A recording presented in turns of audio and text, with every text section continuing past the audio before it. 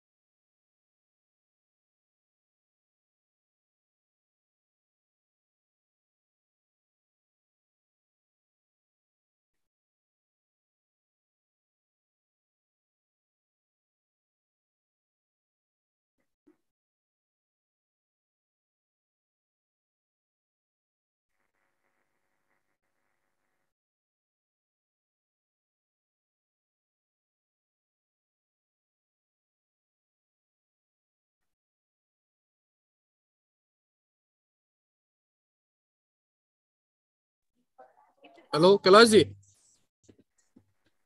Hello हाँ बोलो। कैलाश जी हाँ। हाँ। Hello hello hello hello hello hello hello हाँ आवाज़ आ रही है। मनीष जी। Hello hello Kailash ji. हाँ। हाँ बोलो। आवाज़ आ रही है? आ रही है। आगे के बंदा। आए नहीं अभी। कुलाधिपति जी आ रहे हैं अभी। आए नहीं है। तो ठीक है। थारो पिन कर रहा मैं एक बार। हाँ ठीक है।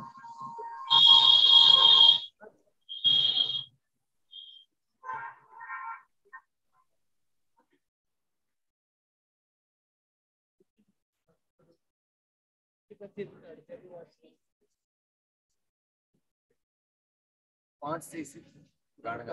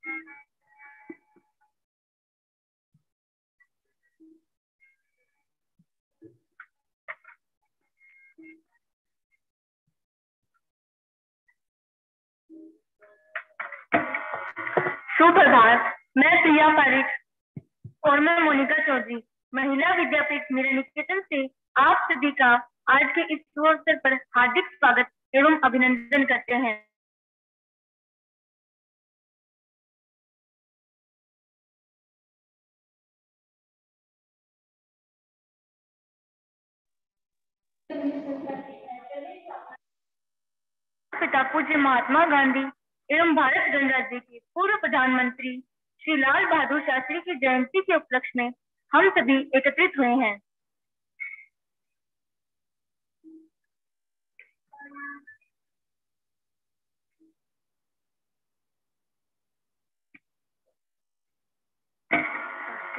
बाल संस्था के समस्त पदाधिकारियों द्वारा राममंच के प्रांगण में स्थित स्वामी श्री श्री रामचंद्र जी महाराज की प्रतिमा एवं श्री भंवरलाल जी दुगर तथा राष्ट्रपिता महात्मा गांधी जी की प्रतिमाओं को पुष्पांजलि अर्पित की जा रही है। आज का दिन हम सभी के लिए अत्यंत गौरव व हर्ष का दिवस है, क्योंकि आज ही के दिन स्वामी श्री रामचंद्र जी महाराज, पूर्व ब्रह्मलीन पूज्य स्वामी जी श्री रामचंद्र जी महाराज द्वारा इस संस्था की स्थापना की गई थी। लोकहित में स्थापित इस संस्था की स्थापना का उद्देश्य शिक्षा, स्वास्थ्य, चिकित्सा कृषि, व मानव मूल्यों की चेतना, व प्रचार प्रसार में कार्य करना है। संस्था ने देश में समय समय पर प्राकृतिक आपदाओं एवं समाज कल्याण में अपना योगदान दिया है।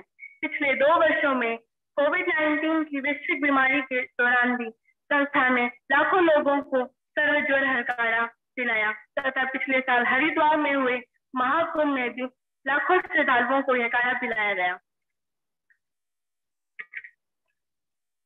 अगस्त माह से गोवंश के ऊपर कह संकट टूटी।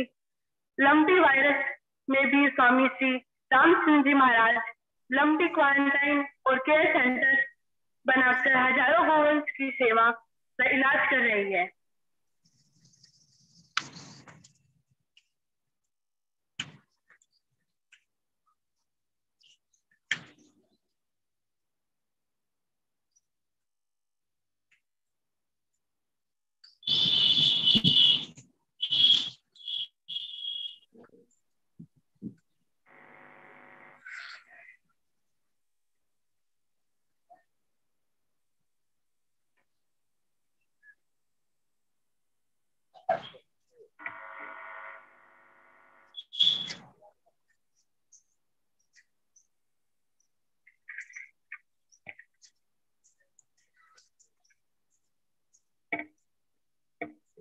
जिनके ही दृढ़ अनुशासन से वह पाक हिंद से हारा था। जय जवान, जय किसान, जय जवान, जय किसान, ये इन्हीं का तो नारा था।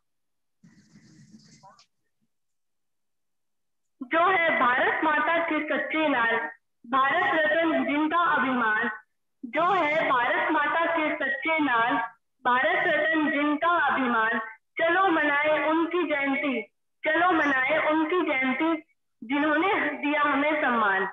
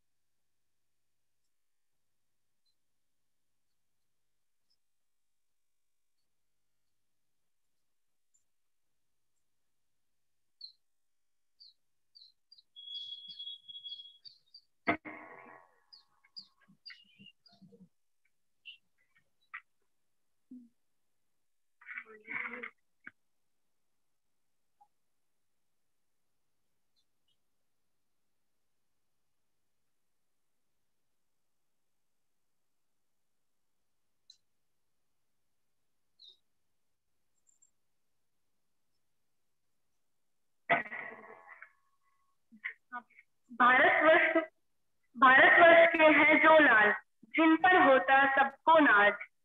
भारतवर्ष के हैं जो लाल, जिन पर होता सबको नाज। ऐसा महान शास्त्री जी की ज़रूरत है इस देश की आज। ऐसे महान शास्त्री जी की ज़रूरत है इस देश को आज।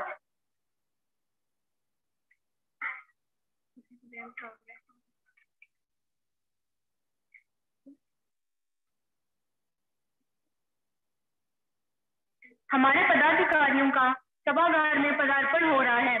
कार्यक्रम की शुरुआत करते हुए मैं मोनिका चौधरी और मैं प्रिया पारी, आईआईएससी मानिक विश्वविद्यालय के माननीय कुलाधिपति महोदय श्रीमान कनकमल जी दुग्गड़ गांधी विद्या मंदिर के अध्यक्ष श्रीमान हिमांशु जी दुग्गड़ आईआईएससी मानिक विश्वविद्यालय के कुलपति professor B Sharma, IISc Manik विश्वविद्यालय के उप कुलाधिपति प्रोफेसर देवेंद्र मोहन गांधी विद्या मंदिर के सचिव, ब्रिगेडियर अजय पति त्रिपाठी, आईएएस मानिक विश्वविद्यालय के रजिस्ट्रार श्री धर्म सिंह गहलोत व गांधी विद्या मंदिर के अतिरिक्त सचिव श्री जितेंद्र पारिक एवं समस्त प्रवर्तित प्रधानों, संस्था में कार्यरत कर्मचारीगणों तथा उपस्थित सभी महानुभावों का सादर वंदन तथा अभिनंदन करती हूँ। हमारी भारतीय परंपरा के, भारतीय संस्कृति की परंपरा के अनुसार किसी भी कार्यक्रम की शुरुआत दीप प्रज्वलन के साथ की जाती है। अतः सभागार में उपस्थित सभी पदाधिकारियों दीप प्रज्वलित कर इस कार्यक्रम का श्री गणेश करें।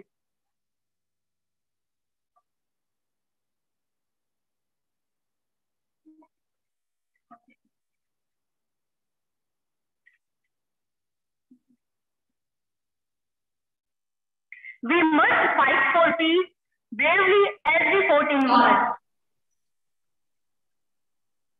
शांति जितना हम युद्ध में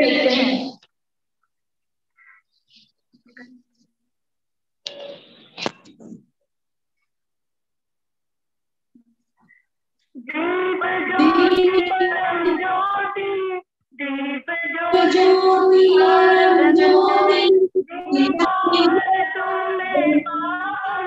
दीप ज्योति शुभम करोतु कल्याणम आरोग्यम सुखम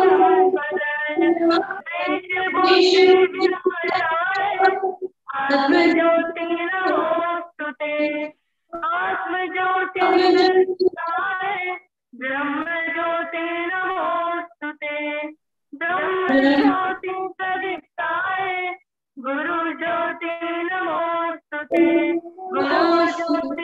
प्रज्वलन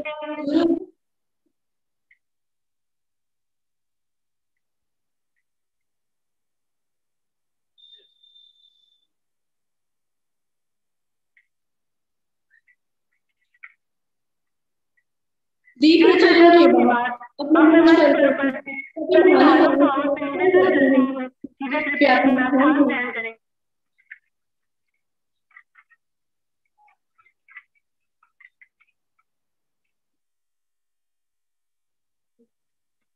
मैं कार्यक्रम की शुरुआत करते हुए मेरा निकेतन कन्या उच्च माध्यमिक विद्यालय की छात्रा, पुष्पा छिरंग को संस्था परिचय के लिए मंच पर आमंत्रित करती हूँ।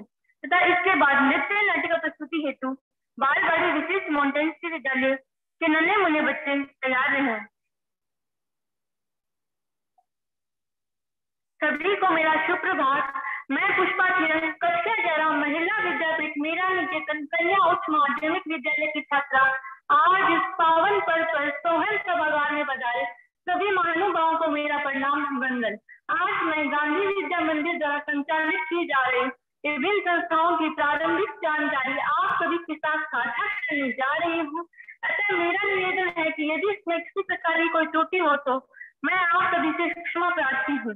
आज से दो, आज से बेहतर वर्ष पूर्व, दो अक्टूबर उन्नीस सौ पचास को इस विशाल वट वृक्ष नगर से निर्मल जी दुग्गड़ के सुपुत्र श्री कन्हैयालाल जी दुग्गड़ स्वामी श्री श्री रामचरण जी महाराज द्वारा डाली गई थी। संस्था के संस्थापक उदार भक्त, हृदय एवं क्रमश कर्मयोगी स्वामी जी ने समाज सेवा, शिक्षा, धर्म, आध्यात्मिक, ग्राम विकास गौ सेवा, मानव सेवा एवं सर्वोदय कार्यों के लिए इस संस्था की स्थापना की थी। स्वामी जी महाराज जब बम्बई में अपने माता पिता परिवार के साथ रह रहे थे तो उस समय उनके मन में समाज सेवा का भाव जागृत हुआ और वे माता जी पिताजी वे अपने बड़े भाई बाबूलाल दुगर से आशीर्वाद लेकर सरदार शहर आए। सरदार शहर प्रवास के दौरान स्वामी जी महाराज नगर के पूर्व दिशा की ओर चौधरियों की भीड़ में हनुमान जी के मंदिर दर्शन करने के लिए गए। वहीं पर संस्था की स्थापना का मूल क्षेत्र उद्देश्य उन्हें मिला। आज इस समय भीड़ के बाद स्वामी जी महाराज की तपोभूमि ओम कुटीर बनी हुई है। इस ओम कुटीर में दो शमी वृक्षों के बीच श्री कृष्ण मंदिर स्थित है। इसी तपोभूमि पर स्वामी जी महाराज ने अनेक साहित्यिक कृतियों गीतारी गुंजार पूछ मोछ की मुलाकात, योग रैली, विचार बावनी आदर्श विद्यार्थी की रचना की थी। स्वामी जी अष्टांग योग के जानकार क्रमठ योगी थे, जिन्होंने योग विद्याओं की जानकारी जन जन तक पहुँचाने का प्रयास किया। संस्था का विधिवत कार्य करने से पूर्व स्वामी जी ने राष्ट्रीय विश्वविद्यालय की यात्रा की थी, जिसमें शांति निकेतन बनारस हिंदू विश्वविद्यालय, गुरुकुल कांगड़ी हरिद्वार तथा जामिया मिलिया दिल्ली आदि राष्ट्रीय संस्थाओं में गए। इन संस्थाओं के बाह्य तत्वों को गांधी विद्या मंदिर की योजना में समाविष्ट करने के विचार से स्वामी जी ने ये यात्राएँ की थी। श्री जय नारायण व्यास जी जो की बाद में राजस्थान के मुख्यमंत्री बने स्वामी जी के साथ श्री वल्लभ भाई पटेल से गांधी विद्या मंदिर के शिलान्यास की स्वीकृति लेने हेतु बम्बई गए। पटेल साहब ने सहज स्वीकृति भी प्रदान कर दी थी, परंतु वे इस, अपने इस वचन को पूरा करने से पूर्व ही देव लोग गमन कर गए। परंतु श्री राजेंद्र प्रसाद जी भारत के प्रथम राष्ट्रपति ने उनका कार्य करने की हाँ भरी और 28 अगस्त 1955 को गांधी विद्या मंदिर पधार कर हमारे मुख्य भवन का शिलान्यास किया। देहाती विश्वविद्यालय नाम से शुरू हुई संस्था के नाम परिवर्तन का सुझाव राष्ट्रपति महोदय द्वारा दिया गया था। मुख्य भवन के शिलान्यास से पूर्व स्वामी जी के मार्गदर्शन से इस संस्था को सन उन्नीस सौ इक्यावन में ही विधिवत चालू कर दिया गया। दो अक्टूबर उन्नीस सौ बावन को स्वामी जी ने स्वामी जी महाराज द्वारा बुनियादी कौशल, सभी युवा वर्ग को सिखाने के उद्देश्य से बुनियादी माध्यमिक विद्यालय की स्थापना की गई। और छब्बीस अप्रैल उन्नीस सौ बावन को राजस्थान प्रदेश के भूतपूर्व मुख्यमंत्री श्री जयनारायण व्यास द्वारा भवन का शिलान्यास किया गया। एक जुलाई उन्नीस सौ तिरपन को स्वतंत्रता सेनानी श्री गोकुल भाई दत्त द्वारा प्राथमिक शिक्षा के क्षेत्र में बालवाड़ी विशिष्ट मॉन्टेसरी विद्यालय की नींव रखी गई। स्वामी जी महाराज का मानना था कि जब तक नारी शिक्षित नहीं होगी, तब तक समाज का सुधार और कल्प और विकास एक कोरी कल्पना के रूप में रह जाता है। इस कल्पना को जीवित करते हुए स्वामी जी ने उन्नीस सौ तिरपन में भक्त शिरोमणि मीराबाई की पुण्य स्मृति में महिला विद्यापीठ मीरा निकेतन कन्या उच्च माध्यमिक विद्यालय की स्थापना की थी, जिसे उन्नीस सौ तिरपन चौपन में हाई स्कूल तक विकसित किया गया। तत्कालीन राजस्थान के मुख्यमंत्री श्री मोहनलाल सुखाड़िया ने इस विद्यालय का शिलान्यास किया। 2 अगस्त उन्नीस सौ तिरपन को ही बुनियादी शिक्षण प्रशिक्षण केंद्र के रूप में महाविद्यालय की स्थापना की गई। इसका उद्घाटन राजस्थान के तत्कालीन शिक्षा मंत्री मास्टर भोलानाथ जी के कर कमलों से हुआ। सन उन्नीस सौ पचपन में तत्कालीन स्वास्थ्य मंत्री राजस्थान सरकार बद्री प्रसाद गुप्ता द्वारा आयुर्वेद विश्व भारती के प्रशिक्षण केंद्र का उद्घाटन किया गया। तथा मुख्य भवन का उद्घाटन राष्ट्रपति डॉक्टर श्री श्री राजेंद्र प्रसाद द्वारा किया गया। गौशाला एवं गौ नस्ल सुधार केंद्र के रूप में उन्नीस सौ बावन में पाँच राठी गायों से केंद्र प्रारंभ किया गया, जो आज असंख्य गौवंश की सेवा कर रहा है। जहाँ देश की साठ प्रतिशत से अधिक आबादी कृषि कार्यों में संलग्न है और अर्थव्यवस्था के रीत जहाँ कृषि कार्यों को माना जाता है, इसलिए सन उन्नीस सौ इक्यानवे में कृषि विज्ञान केंद्र का गठन किया गया है वर्तमान समय में कुशल संचालन संस्था द्वारा किया जा रहा है। इसी श्रृंखला में गरीबी किसी भी प्रकार से बालक बालिकाओं के विकास में बाधक न हो, इसके लिए फरवरी उन्नीस सौ छिहत्तर में निराश्रित बाल गृह की स्थापना की गई। संस्था द्वारा गौवंश की रक्षा और संवर्धन करने की और सेवा को देखते हुए दिसंबर उन्नीस सौ चौपन में प्रधानमंत्री कोष से पचास हज़ार रूपए गांधी विद्या मंदिर में अनुदान स्वरूप दिए गए थे। बाईस फरवरी उन्नीस सौ उनसठ को संत विनोबा भावे राजस्थान की भूदान यात्रा के दौरान सरदार शहर पधारे। तथा गांधी विद्या मंदिर में उनका पदार्पण हुआ एवं उनके आशीर्वचन सभी को प्राप्त हुए। राजस्थान के राज्यपाल गुरुमुख निहाल सिंह व भूतपूर्व वित्त मंत्री हरिभाव उपाध्याय ग्राम ज्योतिर्लिंग केंद्र के उद्घाटन के लिए संस्था में पधारे। स्वामी जी महाराज की संकल्प पर निष्ठा से संस्था को यह मूर्त रूप प्राप्त हुआ। आज छात्र छात्राओं के लिए कई पृथक पृथक छात्रावास बेसिक पब्लिक स्कूल मानविकी संकाय, एस लंबी केयर सेंटर प्राणनाथ आयुर्वेद चिकित्सालय निर्माणाधीन है। इसके अतिरिक्त छत्तीसगढ़ में प्रेरणा विद्यालय का संचालन किया जा रहा है। विगत कई वर्षों से चाहे किसी प्रकार की कोई प्राकृतिक आपदा देश के विभिन्न भागों में आई हो तो उस समय संस्था ने सदैव निस्वार्थ भाव से जनमानस की सेवा की है। इसकी जानकारी मेरी सहयोगी आपको पहले ही दे चुकी है। कोरोना महामारी जैसी संक्रामक बीमारी से सभी को संक्रमण का भय लग रहा था। उस समय संस्था द्वारा गाँव गाँव शहर, कस्बे और कुंभ के मेले में सर्व ज्वर हर्चुन का काढ़ा निःशुल्क पिलाने के लिए शिविर लगाए गए। आयुर्वेद चिकित्सालय में निःशुल्क संक्रमित व्यक्तियों की सेवा की, जहाँ हर जगह मौत का तांडव, बीमारी के कारण हो रहा था। वहाँ स्वामी जी के आशीर्वाद से सभी मरीज़ कुशल व स्वस्थ होकर प्रसन्नता पूर्वक संस्था से जा रहे थे। संस्था के निर्माण से लेकर वर्तमान समय तक अनेक चुनौतियाँ संस्था के सामने आए। परंतु स्वामी जी के ध्येय वाक्य कुछ ना चाहो, काम आ जाओ, कोई और नहीं, कोई गैर नहीं, पर सेवा भाव नहीं, हर चुनौती में संस्था को सदैव नए शिखर पर सूर्य के समान प्रकाशित किया है।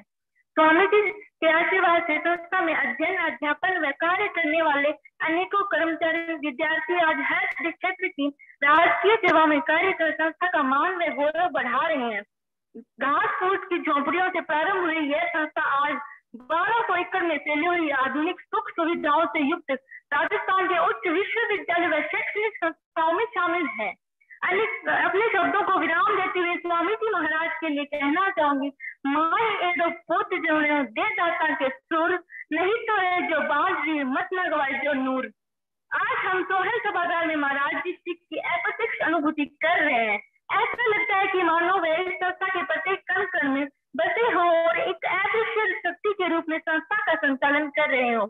गंभीर रूप से अस्वस्थ होने के पश्चात भी स्वामी जी ने गाँव गाँव ढाई ढाई जाकर गर्मी की तपती दोपहरी में लोगों की सेवा की।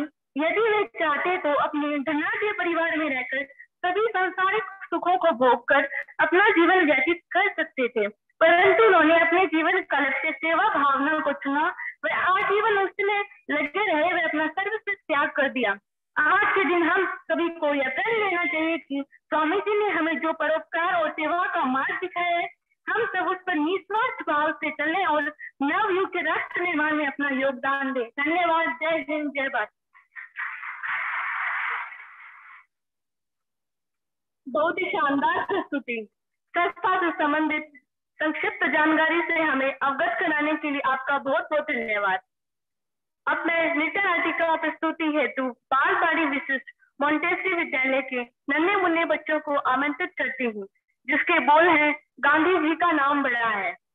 बेसिक पब्लिक स्कूल की छात्राएँ अपनी प्रस्तुति हेतु तैयार रहें। जैसा कि हम सभी जानते हैं कि राष्ट्रपिता महात्मा गांधी, जिनका जन्म 2 अक्टूबर अठारह सौ उनहत्तर को गुजरात के पोरबंदर में हुआ था, यूएनओ द्वारा 2 अक्टूबर को संपूर्ण विश्व में अहिंसा दिवस के रूप में मनाया जाता है। इसी पर आधारित नृत्य नाटिका प्रस्तुत है।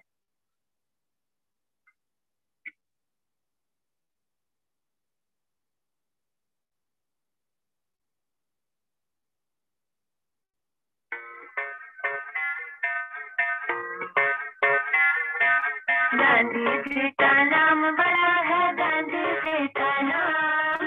गांधी जी का नाम बड़ा है का नाम बापू जी का काम बड़ा है बापू जी का काम अरे बापू जी का काम बड़ा है बापू जी का काम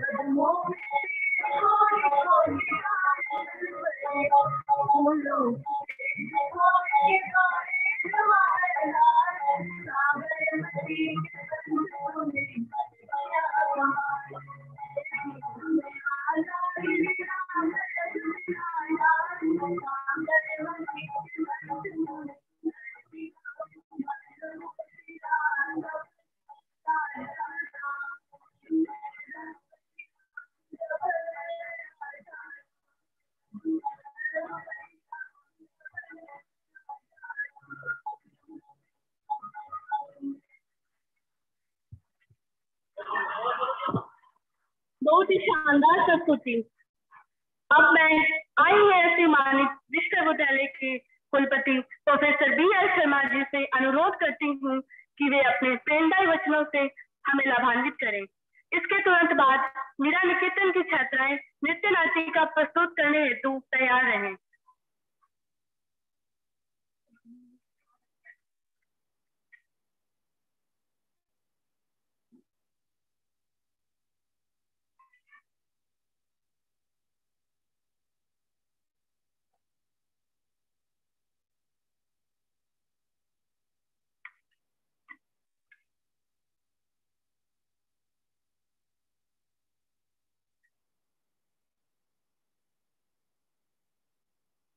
विश्वविद्यालय के सम्मानित माननीय कुलाधिपति जी, श्रीमान कनकमल जी दुर्गढ़ हमारी संस्था के अध्यक्ष, सम्माननीय श्री मानसू जी, मंचस्थ सभी महानुभावगण विद्वान, अध्यापक मित्रों, प्यारे विद्यार्थी, जैसा कि आप जानते हैं कि आज दो अक्टूबर दो अक्टूबर के दिन ही आदरणीय स्वामी राम शरण जी महाराज ने गांधी विद्या मंदिर की स्थापना की थी।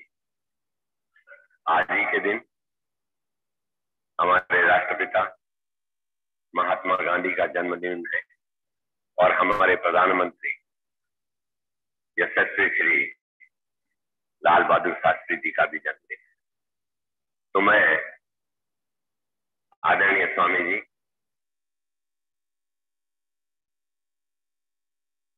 राष्ट्रपिता महात्मा गांधी जी हमारे पूर्व प्रधानमंत्री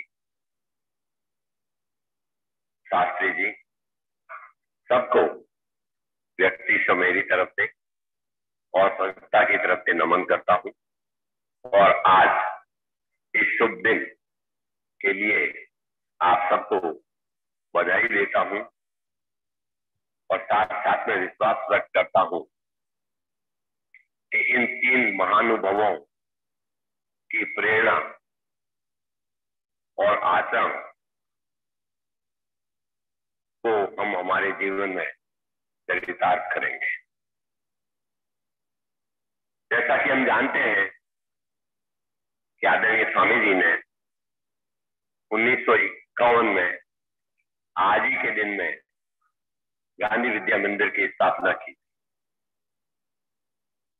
जब हम गांधी जी इन तीनों महानुभावों को एक ही साथ देखते हैं तो लगता है कि सभी महानुभावों का जीवन समाज के लिए, मानवता के लिए, राष्ट्र के कल्याण के लिए समर्पित रहा है।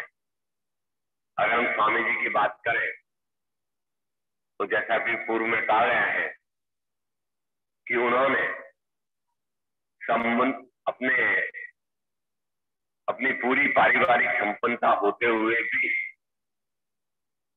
अपना जीवन, समाज और मानवता के कल्याण के लिए लगे वे केवल या मात्र एक स्पिरिचुअल व्यक्तित्व नहीं थे, एक धार्मिक व्यक्तित्व नहीं थे, वे एक सामाजिक नेता भी थे। वे समाज के प्रति अपने उत्तरदायित्व को भली भांति समझते थे और उसी बात को दृष्टिगत रखते हुए उन्होंने वो प्रयास किए। उन, उस संस्था का बीजारोपण किया स्थापना की, जो एक वट वृक्ष के रूप में आज विकसित हो चुकी है। जब मैं इस संस्था के बारे में देखता हूँ तो मैंने, मेरे दिमाग में आता है कि सबसे पहले स्वामी जी का व्यक्तित्व। बहुत मुश्किल होता है तय करना कि क्या वो स्पिरिचुअल थी, क्या वो रिलीजियस थे, क्या वे सोशल रिफॉर्मर थे। मुझे लग रहा है कि वो थिंकर से ज़्यादा। कार्य करने में विश्वास करते थे। और समाज के प्रति मानव के जो दायित्व होते हैं, उन दायित्वों को उन्होंने एक ऋण के रूप में समझा। और उस ऋण को अपने जीवन भर चुकाते रहे और उन्होंने एक ऐसी परिकल्पना की कि उनके जीवन के बाद में भी वे गांधी विद्या मंदिर, गांधी विद्या मंदिर की विभिन्न संस्थाओं और गांधी विद्या मंदिर के कार्यकलापों या कार्यों के रूप में समाज को कुछ देते रहे। समाज में मूल्यों का आचरण प्रतिस्थापित करें। और समाज के उत्थान, व्यक्ति के उत्थान, एक चरित्रवान व्यक्ति को बनाने के यज्ञ में उनका योगदान हमेशा के लिए चालू रहे कंटिन्यू रहे। और इसीलिए, जैसा हम जानते हैं, अभी पूर्व में कहा गया कि उन्होंने इससे शिक्षा की कल्पना की। उनकी कल्पना में यह भी था कि समाज के उत्थान की जो प्रथम सीढ़ी है, जो आधारशिला है, वह आधारशिला एजुकेशन है। और एजुकेशन में डिसिप्लिन स्पेसिफिक एजुकेशन के स्थान पर, उन्होंने ये सोचा कि पहले एक एजुकेशनल स्ट्रक्चर को खड़ा किया जाए, राष्ट्र में। और इसका, और वह वह सपना तभी संभव हो सकता जबकि ट्रेन टीचर समाज को उपलब्ध हो। और इसीलिए उन्होंने एजुकेशन में टीचर ट्रेनिंग के लिए कुछ पाठ्यक्रम प्रारंभ किए। जो वर्तमान में है बी एड और बी एड के विभिन्न नए नए आयामों के रूप में नए नए कार्यक्रमों के रूप में, पाठ्यक्रमों के रूप में एम एड और पीएचडी के रूप में यह संस्था संचालित कर रही है। इसके साथ साथ ही उनके द्वारा स्थापित इस संस्था ने आयुर्वेदिक शिक्षा के बारे में भी सोचा गया और आयुर्वेद कॉलेज और आयुर्वेद महाविद्यालय की स्थापना की गई। और हम गर्व से कह सकते हैं कि राजस्थान के वन ऑफ़ द बेस्ट नहीं, शायद बेस्ट आयुर्वेदिक महाविद्यालय और आयुर्वेदिक कॉलेज हमारी संस्था द्वारा संचालित किया जा रहा है। प्रभावी तरीके से संचालित किया जा रहा है। इस अवसर पर मैं डॉक्टर रविंद्र जी और उनकी टीम को बधाई देना चाहता हूँ कि वे इस उत्तरदायित्व को प्रभावी तरीके से निष्पादित कर रहे हैं। इसके बाद में यहाँ पर ये जो एजुकेशन की विचारधारा है, हम जानते हैं कि फ़िलहाल ये संस्था चैरिटेबल परोपकार के आधार पर चल रही है। और इसमें कई एक्टिविटीज़ की गई है। पर जो एक्टिविटीज़ मेरे आने के बाद मैंने खास तरह से देखी है कि कोरोना एपिडेमिक में इस संस्था ने करोड़ सौ रुपीज़ लाखों में नहीं, करोड़ सौ रुपीज़ लगा करके समाज के प्रति जो स्वामी जी का अभिगम था जो स्वामी जी का विजन था, जो स्वामी जी की दृष्टि थी, उसको अचीव करने में, उस गोल को, उस लक्ष्य को अचीव करने में संस्था ने बहुत ही प्रभावकारी तरीके से और समर्पण से कार्य किया है। वर्तमान में हम जानते हैं कि ये बीमारी गायों में चली है। तो इस बीमारी को की समस्या को एड्रेस करने के लिए भी संस्था राजस्थान में साल से पहले आगे आई है। और कल ही सम्माननीय कुलाधिपति जी मुझे बता रहे थे, एक व्यक्ति जो राजस्थान सरकार की तरफ़ से या आइसोलेटेड जो भी संस्था हो, ऐसी सभी संस्थाओं का राजस्थान में भ्रमण कर रहा है। और उन्होंने बताया कि राजस्थान में जितने भी सेंटर चल रहे हैं गायों के इलाज के लिए, गायों के इलाज के लिए, उसमें वन ऑफ़ द बेस्ट नहीं बेस्ट जो सेंटर है, वो हमारी संस्था द्वारा चलाया जा रहा है।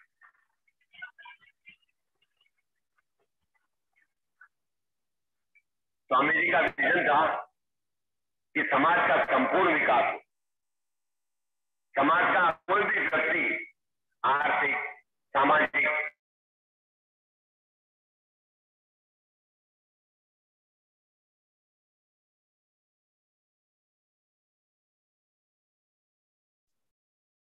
बच्चों की भी चिंता की गई और एक बाल गृह बहुत ही समर्पण के साथ और उत्तरदायित्व के साथ हमारी संस्था द्वारा चलाया जा रहा है। इतना ही नहीं, और बहुत सी सोशल एक्टिविटीज़ है कल्चरल एक्टिविटीज़ है एक्टिविटीज़ है।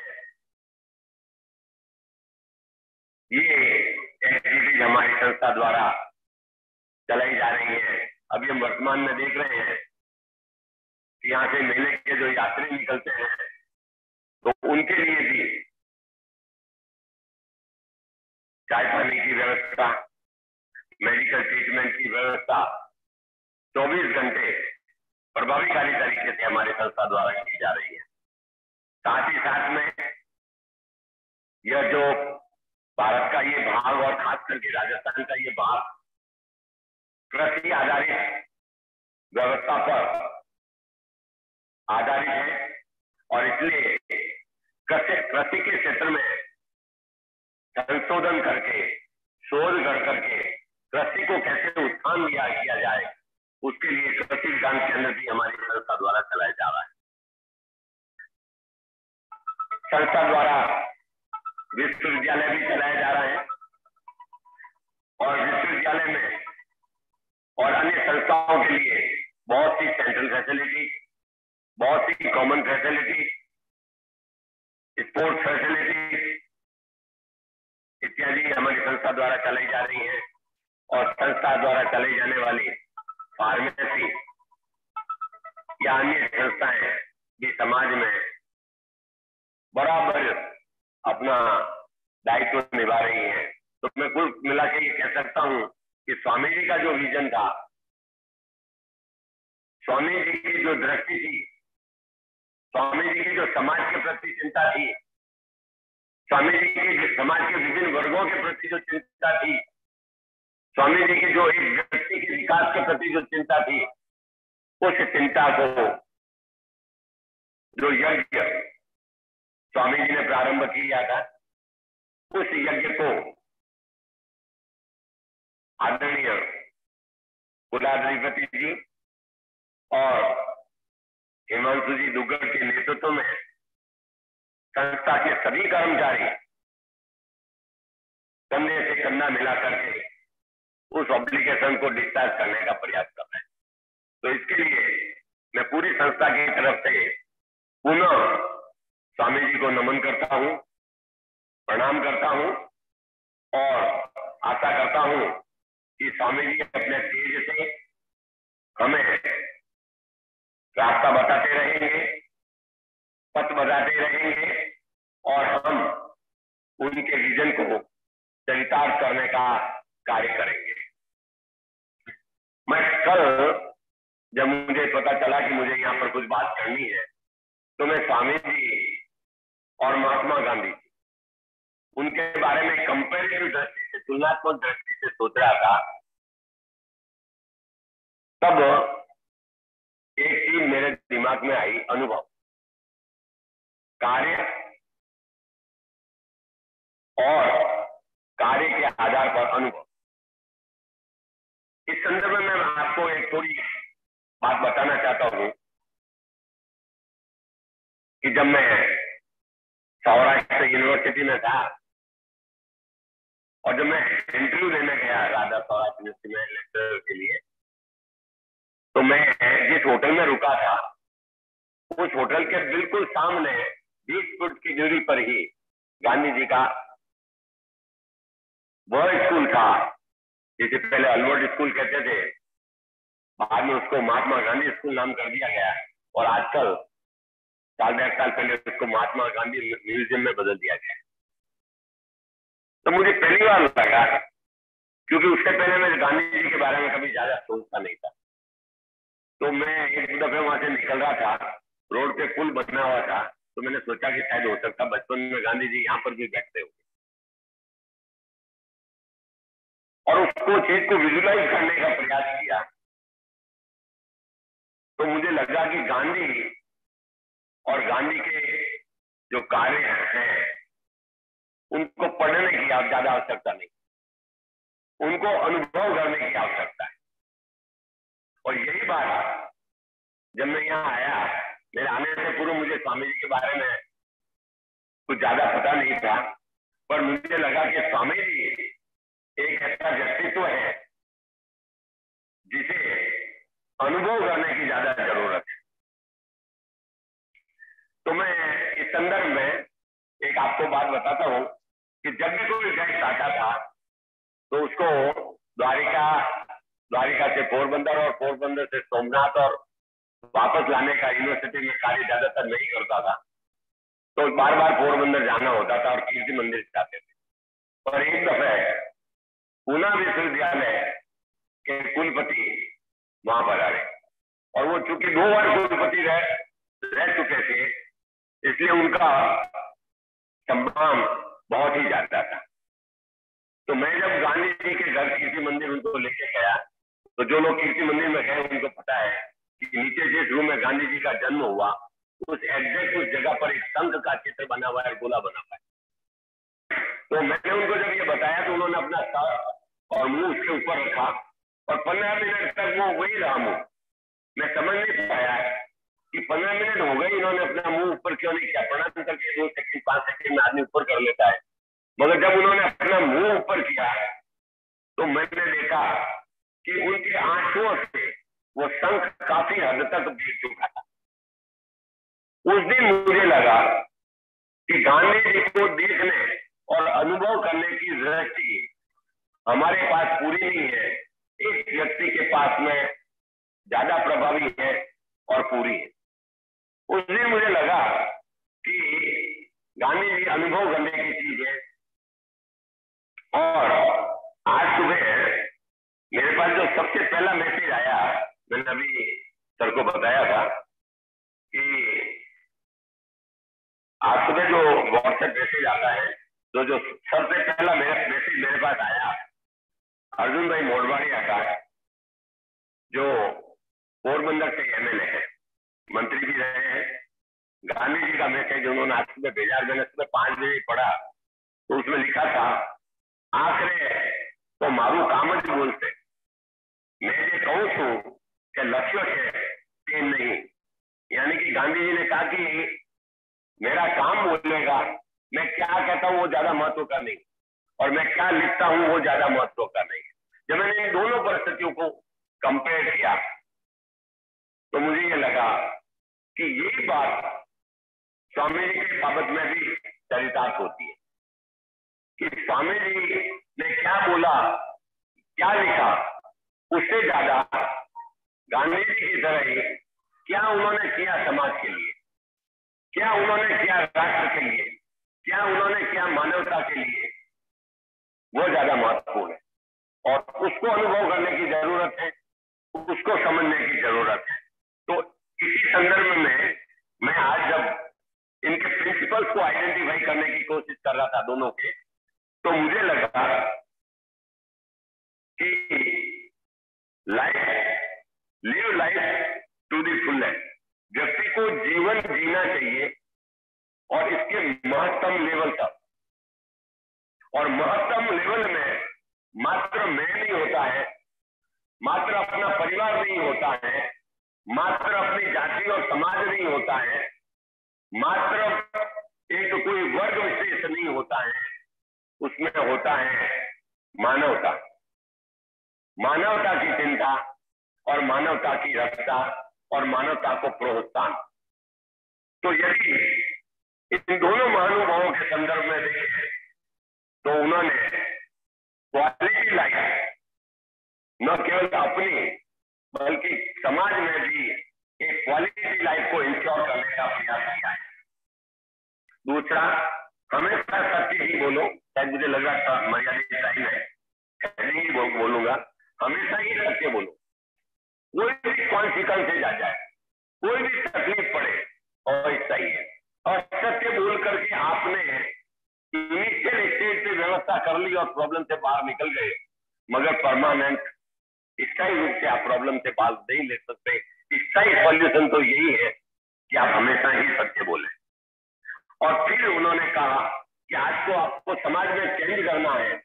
आपको समाज में परिवर्तन करना है। तो दूसरों की तरफ़ मत देखिए। आप उस यज्ञ में लग जाइए। और अगर आप ईमानदारी से उस यज्ञ में लगेंगे तो सदूर से सभी लोग आकर के उसमें यज्ञ में लग जाएँगे। तो जो ये है कि परिवर्तन को हमसे ही चालू करना है, हमको दूसरों पे डिपेंड नहीं रहना है, ये बात जो दोनों ही महानुभवों में थी यह वाकई अनुभव योग्य है विचारना योग्य है, और अपने जीवन में चरितार्थ करने योग्य है। और फिर उन्होंने कहा कि believe in love love to all कोई इसमें भेदभाव नहीं होना चाहिए। और एक बात उन्होंने ये भी कही और उन्होंने की अपने जीवन में जीवन में दोनों ही माउनो भावनों है कि आप कोई भी काम करते हैं, कोई भी स्टेटमेंट देते हैं, किसी के साथ कोई भी व्यवहार करते हैं, उससे पहले सोचिए कि वो इथिकल है या नहीं, वो मॉरल है या नहीं, वो लीगल है या नहीं, वो व्यवस्था में अनुमत है या नहीं, आप उसको अगर वो नहीं है तो वो काम आप मत करिए, आप उसको डिफेंड मत करिए। तो ये बात भी उनकी बड़ी ही अच्छी थी। फिर है जीने के लिए लिव टू लर्न और थोड़ा फास्ट होगा बी पॉजिटिव सकारात्मक रहिए समाज को सकारात्मक करिए। सकारात्मक दृष्टि का निर्माण करिए। और फिर में भूल, आप अगर माफ़ करना सीखिए, अगर आप माफ़ करना नहीं सीखेंगे तो रिवेंज से रिवेंज चलेगा। तो मानवता खत्म हो जाएगी। इसलिए रिवेंज की बात छोड़िए। आप एक दूसरे को माफ़ करना सीखिए। और एक एक बात उन्होंने ये भी कही कि आप हमेशा सत्य पर रहिए।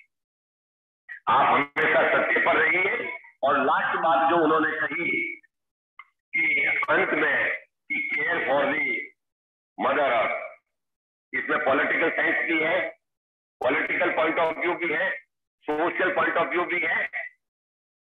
एनवायरमेंटल पॉइंट ऑफ़ व्यू भी है। एजुकेशन पॉइंट ऑफ़ व्यू भी है। हर दृष्टि से अपनी अपनी ज़मीन की, अपने राष्ट्र की, अपने गाँव की चिंता करिए।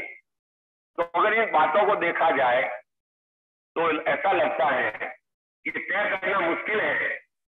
और गांधी जी ने तो जैसा सत्य का एक ज़्यादा व्यवस्था में उन्होंने बात कही उन्होंने में भी ली। मगर स्वामी जी ने तो ये सभी बातें दसों बातें पूर्ण तो अपने आचरण में निभाई है। और उसका परिणाम हम आज देख रहे हैं। तो मुझे पूरा विश्वास है कि आज हम इस रिजोल्यूशन के साथ और सॉरी लाल बहादुर शास्त्री जी की बात करें टाइम थोड़ा कम है, मगर उनके पास में अद्भुत मैनेजरियल कैपेसिटी थी। पॉलिटिकल विजन था सोशल विजन था। कि उन्होंने क्राइसिस में भी राष्ट्र को इस तरह से मैनेज किया कि राष्ट्र अपने गोल को अचीव कर सके। और अंत में मैं ये कहना चाहता हूँ कि हम इन तीनों महानुभवों को सच्ची श्रद्धांजलि देना चाहते हैं। तो उन्होंने जो जो यज्ञ प्रारंभ किए हैं, जो जो कार्य किए हैं, उनको अनुभव करिए और संकल्प लीजिए कि हम उनको समाज में प्रभावी तरीके से लागू करने में प्रपोगेट करने में और समर्पित करने में अपने आप को समर्पित कर, समर्पण करेंगे। जय हिंद जय भारत।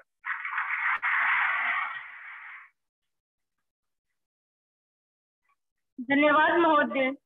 कार्यक्रम में अगली श्रृंखला पे होते हुए अब मैं मेरा निकेतन विद्यालय की छात्राओं को अपनी नृत्य नाटिका प्रस्तुत करने के लिए आमंत्रित करती हूँ जिसके बोल हैं बापू की बातों का है केवल इतना साथ इसके बाद श्री भवनलाल दुबे आयुर्वेद विश्व भारती से कोमल चौधरी अपनी कविता प्रस्तुति के लिए तैयार हैं।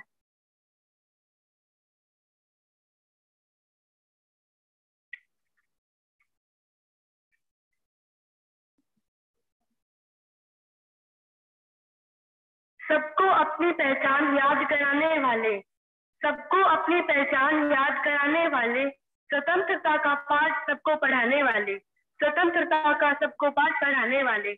आपके शब्दों, आपके नारे को सलाम, आपके शब्दों, आपके नारे को सलाम, देश को कई नई ऊंचाई पर ले जाने वाले, देश को नई ऊंचाई पर ले जाने वाले, खुद भूखे रहकर लोगों को सलाम, खुद भूखे रहकर लोगों को खिलाने वाले, आपके महान विचारों को सलाम। आपके महान विचारों को सलाम।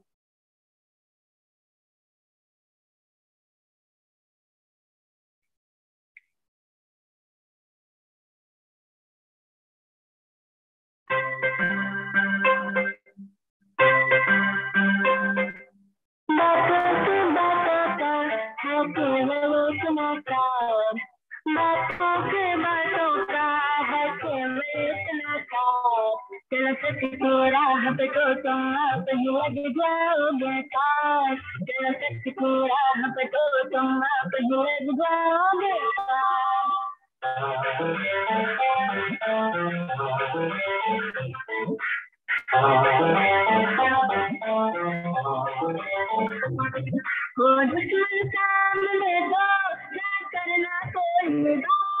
हर एक बड़े मुश्किल का देखो है प्यार चल जाए तेरा तो तुम अब लग जाओगे पार चल प्यार की राह तो तुम अब लग जाओगे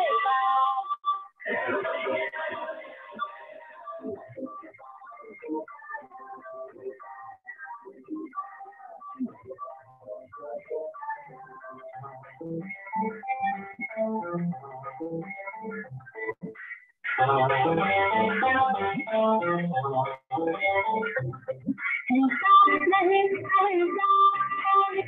का आधार बापू के चलो मंजिला मंजिला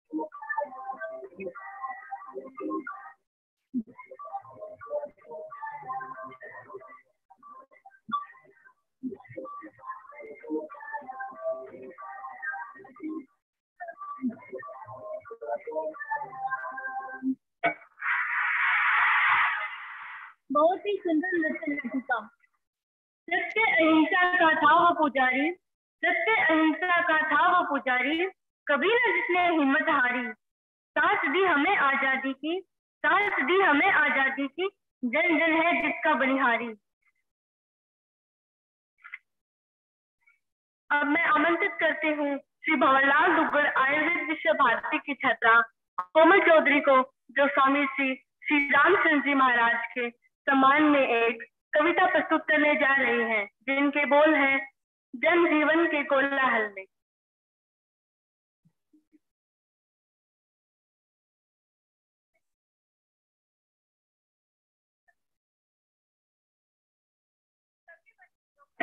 सभी वंदनियों को मेरा नमस्कार।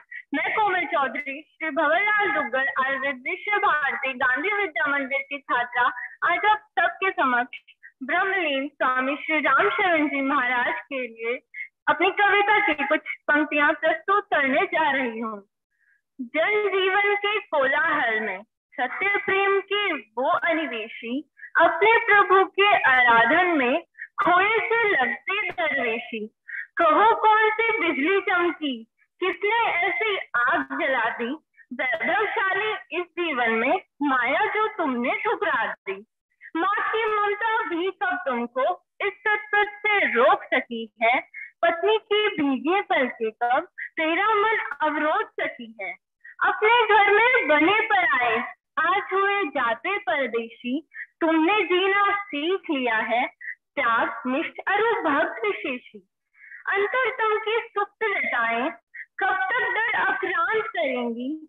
उर्मे जो है अनल धड़कती, बोलो कब तक शांत रहेंगी। प्रभु पूजा के परम पिपासु राम भक्त के वो आराधक, जीवन तेरा सत्य शिवम हो, पथ में जड़ता बने न बाधक। अंधकार में रजत रेखती, गांधी मंदिर देन तुम्हारी, मरु का कंकन याद रखेगा, तेरी यह गुण गाथा प्यारी, तेरी यह गुण गाथा प्यारी। अंत में मैं अपने शब्दों को विराम देते हुए, स्वामी जी के शब्दों को अपने शब्दों में प्रस्तुत करना चाहती हूँ। तरल अनल गगन पवन, धरा को भी है नमन। प्रखर तेज बुद्धि हो, प्रचंड एक निश्चय हो। प्रगति की राह के हर सवाल को हम काटेंगे। अनंत इस आकाश में विजय के गीत लापेंगे, विजय के गीत लापेंगे। धन्यवाद।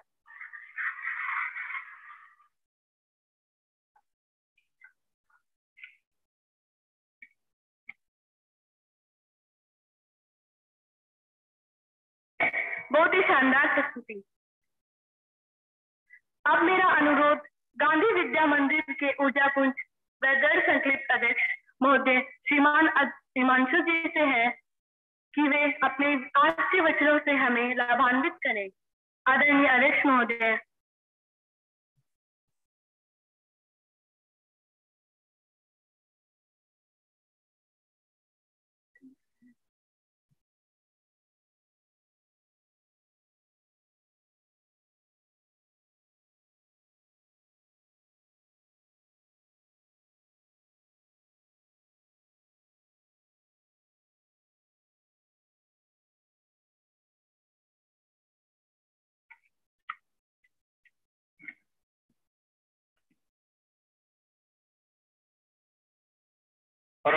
पूज्य स्वामी जी महाराज को, जिनकी मुझे यहाँ इस प्रांगण में हमेशा ही उपस्थिति महसूस होती है, उनको कोटि कोटि प्रणाम। उन बहुत सारे लोगों को प्रणाम, जिन्होंने संस्थान को स्थापित करने में, इसको आगे बढ़ाने में बहुत सारा योगदान दिया है। उनकी सूची इतनी बड़ी है कि हम अगर चाहकर भी उनकी गणना नहीं कर सकते। तन से, मन से, धन से जो आज ये व्यक्तित्व हम देख रहे हैं, उन लोगों ने उसको सींचा है। उन सब लोगों को प्रणाम। भारत भर में ये पर्व इस देश के जो दो लाल हैं, गांधी जी और शास्त्री जी, उनकी जयंती के रूप में मनाया जाता है। इस प्रांगण में हम इसको फाउंडर्स डे या संस्थापक दिवस के रूप में मनाते हैं। आज ही के दिन 1950 में इस संस्था की स्थापना हुई थी। एक वृत्तांत मैं आप लोगों को सुनाना चाहता हूँ। मुझे लग रहा है कि बहुत लोगों ने ये वृत्तांत नहीं सुना होगा। स्वामी जी जब युवा थे, तब दिल्ली के अंदर एक बहुत बड़े कोई ज्योतिषी थे। उस वक्त पूरे देश में विख्यात थे। रुपये पैसे से किसी की कुंडली हाथ नहीं देखते थे।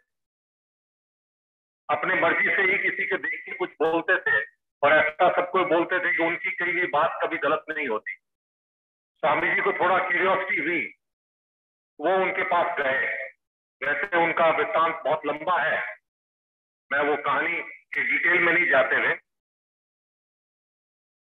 उस व्यक्ति के पास स्वामी जी अपनी आइडेंटिटी छुपा के गए। बहुत साधारण, एकदम गट्टे पटे हुए, मोटे खदर के कपड़े पहनते थे स्वामी जी वैसे कपड़े पहन के अपने आप को एक साधारण व्यक्ति बताते हुए गाँव का उनके पास गए। उनका हाथ देख के उस व्यक्ति ने एक बात कहा कि महाराज, आपको निर्णय लेना है कि आपको धन संपत्ति में पढ़ना है कि आपको अध्यात्म में पढ़ना है। अगर आप धंधे में धन संपत्ति के काम में अगर आप पढ़ गए तो ये मान लो आपके बराबर धनाज इस देश में कोई नहीं होगा।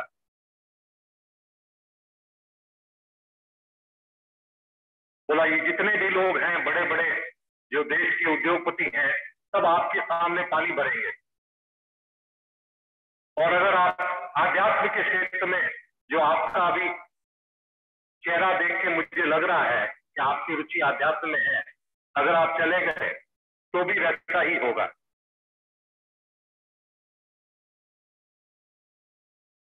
स्वामी जी को कभी भी इसकी तरफ़ रुझान नहीं रहा। कि वो बहुत बड़ा धंधा करें। इतने बड़े एक उद्योगपति, एक बिज़नेस फैमिली से होते हुए भी, इनके कभी मन में इच्छा नहीं हुई कि मैं एक पैसे का भी धंधा करूँ। और क्योंकि मैं उस परिवार से हूँ, हमको पता है कि स्वामी जी ने अपनी शरीर यात्रा में एक पैसे का व्यापार नहीं किया, एक पैसे का भी नहीं।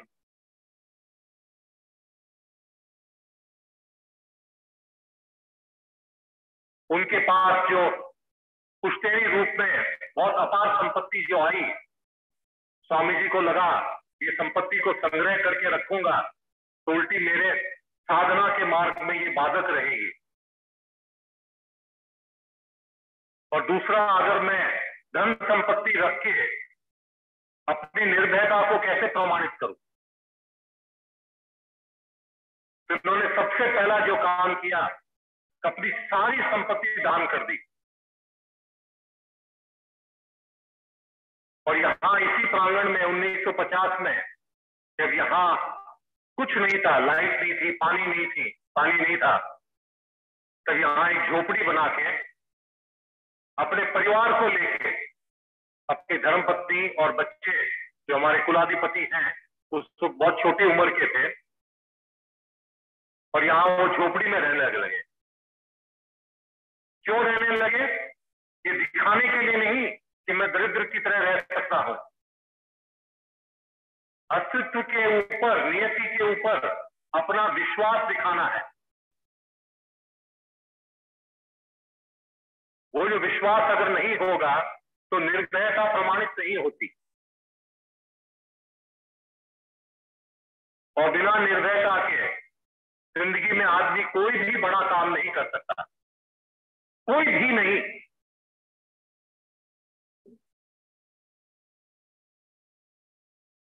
उस वक्त उन्होंने दो लाख रुपया अपने पास रखा। उस वक्त दो लाख रुपया बहुत बड़ी रकम हुआ करती थी। एक लाख रुपया ये सोच के कि मेरी बेटी की शादी करनी है। मेरी बेटी की शादी के लिए मैं समाज से पैसा लू, ये उचित नहीं है। दूसरा उन्होंने कहा कि मेरे व्यक्तिगत खर्चे के लिए मैं समाज से या संस्था के ऊपर भार डालू, ये उचित नहीं है। तो एक लाख रुपया रखा और बोला आजीवन। इसी से अपना खर्चा पानी चलाऊँगा। लगभग 25 साल तक ये क्रम चला।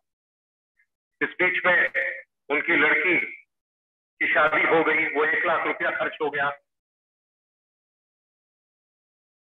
फिर स्वामी जी को कि जब तक ये एक लाख रुपया है, तब तक भी मैं अपनी निर्भयता को प्रमाणित नहीं किया। तो सोचा, क्या करना चाहिए? तो उन्होंने बोला, मैं संन्यास लूँगा। और संन्यास लेने से पहले जो सबसे पहला काम, आखिरी जो गृहस्थ जीवन का काम उनका था वो ये था कि वो जो एक लाख रुपया है वो दान किया।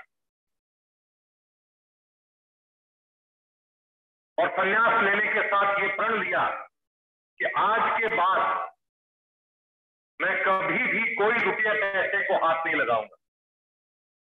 और उसके बाद जो लोग हम लोग आ, उनके साथ रहे हैं उनके नज़दीक रहे हैं हम लोगों को पता है इन्होंने कभी भी कोई भी धन संपत्ति को हाथ नहीं लगाया। प्रतीक मुद्रा के रूप में जो धन संपत्ति होती है।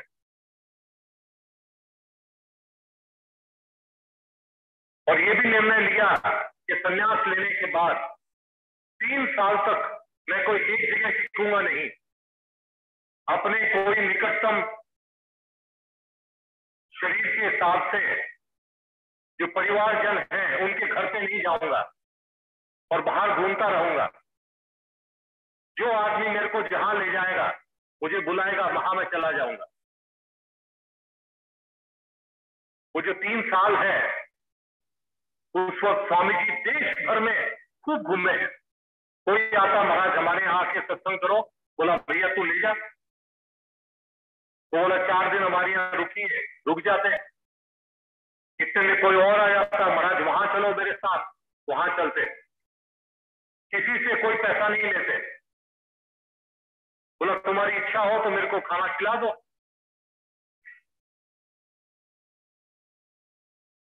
ये इस तरह से स्वामी जी तीन साल संन्यास लेने के बाद जिए हैं। तीन साल ये इस तरह रहने के बाद इनको पुनः प्रेरणा हुई कि अब साधना का स्थल जो है, पुष्कर के पास एक मंजेला गाँव है, वो बनाया जाए। वो स्थान उनके गुरुजी का ही स्थान था। उन्होंने उसको खास अपनी शरीर यात्रा में कह दिया था कि ये मेरा अपना स्थान है। और वहीं से आज मंजेवल आश्रम स्थित है। मंजेवल आश्रम का भी संपत्ति स्वामी जी के नाम पे कभी नहीं थी। जो संस्थान बनी, उसमें स्वामी जी पदाधिकारी नहीं रहे।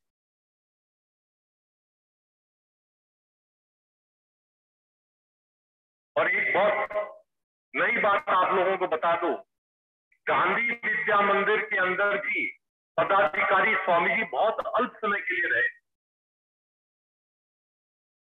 अधिकतर समय स्वामी जी ने बिना पद के ही काम किया। एक दो बार ऐसी परिस्थिति आई कि उनको अध्यक्ष पद स्वीकार करना पड़ा।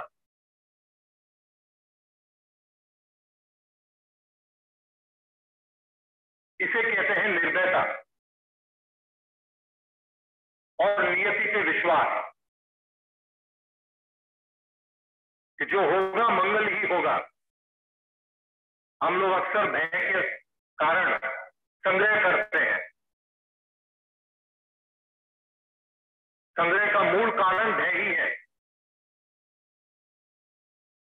और स्वामी जी ने इस तरह से अपनी ज़िंदगी जी। और इसी कारण से ये संस्था के अंदर आज भी वो प्रेरणा मौजूद है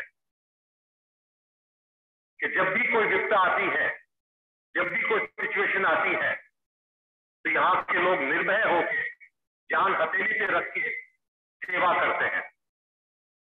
बिना कोई प्रलोभन के सेवा करते हैं। और एक खास बात है, बिना पैसे के, लालच के सेवा करते हुए बहुत लोगों को हम सबने देखा है। बिना यश की कामना के सेवा करना बहुत दुर्लभ है।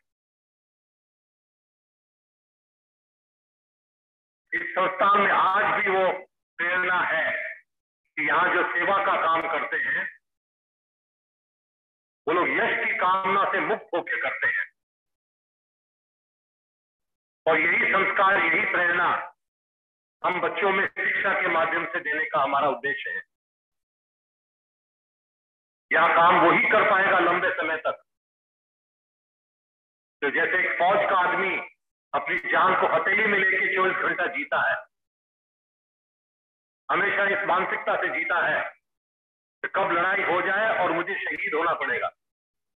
और उस शहीद होने में गौरव महसूस करता है और उस समर्पण की, उस भावना के अंदर जीता है, सतत जीता है। चाहे वो पीस टाइम में पीछे हो, चाहे वॉर टाइम में बॉर्डर पे हो, भाव वो ही रहता है। गांधी विद्या मंदिर में जो काम कर रहे लोग हैं, उनमें और फौज के लोगों में इतना ही फ़र्क है कि हम लोग हथियार नहीं उठाते। भाव वही है। मरने और मारने की ज़रूरत नहीं है। पर सेवा करने में तन मन धन चला जाए तो कोई शोभ भी नहीं है। और ये संस्कार देने के लिए ही हम बच्चों, आप लोगों को यहाँ स्कूल में, कॉलेज में भर्ती करते हैं। ये जो किताबी ज्ञान आपको देते हैं हम लोग, ये तो बहुत छोटी चीज़ है। मूल रूप में जो आप लोगों को दे रहे हैं वो ये है। और ये संस्थान उन्हीं लोगों के लिए है, जैसे फौज उन्हीं लोगों के लिए है, जो अपनी जान को हथेली में रह के जीने की आदि होते हैं। हर काम के लिए एक विशेषता चाहिए, एक भाव चाहिए, एक समर्पण चाहिए। जैसे एक नेता है, नेता को अगर आप देखेंगे नेता वही लोग बनते हैं जिनको बहुत हाई रिस्क ज़िंदगी जीने में मज़ा आता है। वो रोज सुबह उठते हैं, दिन भर लगे रहते हैं। उनका परिस्थिति हमेशा ये रहता है कि आज कुछ उल्टा पुल्टा बोल दिया, आज कुछ गलत कर दिया तो ज़िंदगी करियर खराब, खत्म। और ये हमेशा उसी स्थिति में जीते हैं, जो इस चीज़ के लिए आदि होता है। वही आदमी पॉलिटिक्स में या नेता बन सकता है। उसी तरह गांधी विद्या मंदिर के अंदर अगर कोई आदमी आता है काम करने को तो सबसे पहले ये है अपना गला कटवाने के लिए तैयार हो जाए। अगर धन के लिए आता है तो या ना आए। पद के लिए आता है, ना आए। प्रतिष्ठा के लिए आता है, मान सम्मान के लिए आता है ना, ये जगह उसके लिए नहीं है। इन सारी चीज़ों से आगे का जो चीज़ है, वो अगर प्राप्त करने की इच्छा है, इन सब चीज़ों को छोड़ के, त्याग करके ही वो मिलेगा आगे की चीज़। अगर उसकी किसी को समझ है, उसकी किसी के अंदर कामना है तो ये जगह उसके लिए है। चाहे वो विद्यार्थी हो, चाहे वो टीचर हो, कि और कर्मचारी हो। ये प्रेरणा स्वामी जी की है। ये संस्था का उद्देश्य है। और इसीलिए ये संस्था बनी है। कोई अगर करियर की सोच करता है, रुपये पैसे का करियर तो ये संस्था उसके लिए नहीं है। पद का और रुपये पैसे के तौर पे हम करियर को सोचते हैं। न पढ़ाई के लिए है न काम करने के लिए। जो आदमी ये बात समझ गया कि नियति में समर्पित हो जाऊँगा, न मैं कभी भूखा मरूँगा, न मेरा परिवार भूखा मरेगा। और उसका स्पष्ट प्रमाण है स्वामी जी महाराज। सब कुछ ध्यान देते हुए भी जो भारतवर्ष के बड़े से बड़े धनाढ़ लोग हैं, जिनसे उनको, जिसके बारे में उस ज्योति ने कहा था कि आप उनसे ज़्यादा पैसे वाले होंगे। उन लोगों को मेरी आँखों के सामने मैंने देखा है स्वामी जी के पाँव के अंदर अपना सर टेकते हुए, प्रणाम करते हुए। क्यों? इसलिए नहीं कि स्वामी जी के पास उनसे ज़्यादा संपत्ति थी, पर उनको लगा स्वामी जी के पास वो चीज़ है जो हम अर्जित नहीं कर पाए। उनकी जो पवित्रता है, हम इतना अपार धन संपत्ति इकट्ठा करके भी नहीं ला पाए।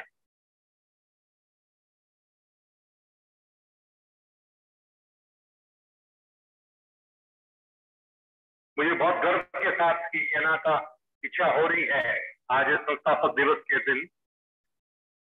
कि धीरे धीरे ये हो रहा है कि ऐसे लोगों की इस संस्थान में संख्या जो इस भाव में जीने के आदि हो रहे हैं, बढ़ती जा रही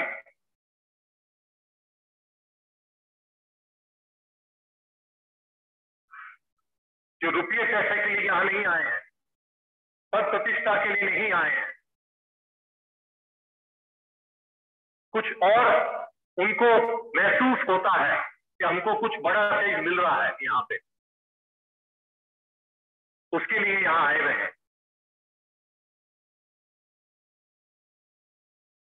और यहाँ ईमानदारी से काम करने से हम ही नहीं, हमारी पीढ़ियाँ सुधर जाएँगी। ये उनको महसूस हो रहा है। हमारा घर, हमारा समाज, ये देश सब सुधरेगा। ऐसे लोगों की संख्या निरंतर बढ़ती जा रही है। कैसे हम कह सकते हैं कि हर बार जो कोई सेवा का काम हम लेते हैं, अभी आपने आदरणीय बीसी साहब के मुँह से सुना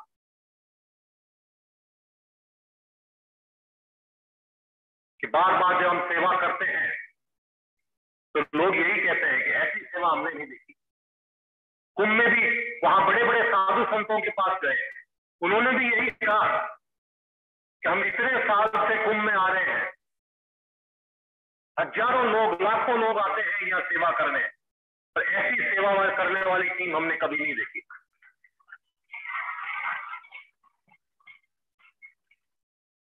बोला, जैसे लोगों को। और रात दिन लगे हुए हैं। और एक जन, दो जन नहीं, सौ से अधिक लोग। और किसी व्यक्ति को भी एक पैसा अधिक नहीं मिला इस सेवा के लिए। लोग अलाउंस के लिए एक्स्ट्रा पेमेंट के लिए सेवा कर देते हैं तो चलो कोई काम है, हमको ये मिल जाएगा। इस संस्थान में ये परंपरा है। सेवा के लिए हम दे देते अभी जो लंपी केयर सेंटर हो रहा है, उसके लिए एक पैसा एक्स्ट्रा किसी को नहीं दिया गया। है इसके लिए नहीं कि हम कंजूस हैं, देना नहीं चाहते। इसलिए उनका जो सेवा का भाव है, इतना सस्ते में नहीं बेचना। रुपये पैसे जैसी पाँव के जूती के अंदर रखने लायक जो चीज़ है, उसके लिए हम सेवा बेच देंगे यार। इतना बड़ा पुण्य बेच देंगे।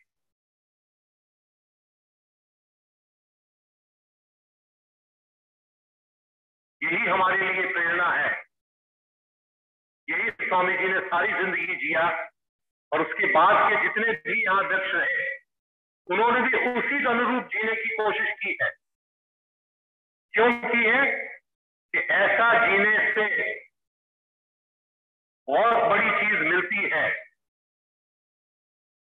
ये तो हम जितने लोग यहाँ अध्यक्ष रह चुके हैं, हम सब ये छाती ठोक के सर फुला के, सर ऊँचा करके गर्व के साथ कह सकते हैं, हमको मिलता है। हम इसके प्रमाण है कि हमको मिलता है। दुख ये बात का ज़रूर है कि जितना मिलता है, उसको ग्रहण करने की हमारी पात्रता कम पड़ती है। ऐसा मुझे लगता है कि मुझे मिल ज़्यादा रहा है, मेरी पात्रता कम है, पर मिलने में कोई कमी नहीं है। जो दे रहा है, उसकी कृपा करुणा में, दया कृपा करुणा में कोई कमी नहीं है। प्रेरणा उतनी ही प्रबल है जो 1950 में थी। आज भी उतनी ही है। अगर उस प्रेरणा को ग्रहण करने की हमारे अंदर पात्रता है, जो वस्तु मिल रही है, उसको हम ग्रहण करने की क्रिया हमारे अंदर अगर सही तरीके से है तो आज भी हमको ये मिल सकता है और मिल ही रहा है। इसीलिए हम लोग बच्चों के साथ बहुत स्ट्रिक्ट व्यवहार करते हैं। इसके लिए, ये पात्रता लाने के लिए हमको कोई इच्छा नहीं है कि हम अत्याचार करें। आप हमारे बच्चे हैं, हम लोग कैसे अत्याचार कर सकते हैं? फिर भी हम कठोर होते हैं। उसका सिर्फ़ एक ही कारण है। कि जो आप लोगों को भी मिल रहा है, हम सब लोगों को समान रूप में मिल रहा है। किसी के साथ वहाँ कोई पक्ष पक्षपात नहीं है। किसी को कम मिल रहा है, किसी को ज़्यादा मिल रहा है कृपा ऐसा होता नहीं है। सबको समान रूप से उपलब्ध है।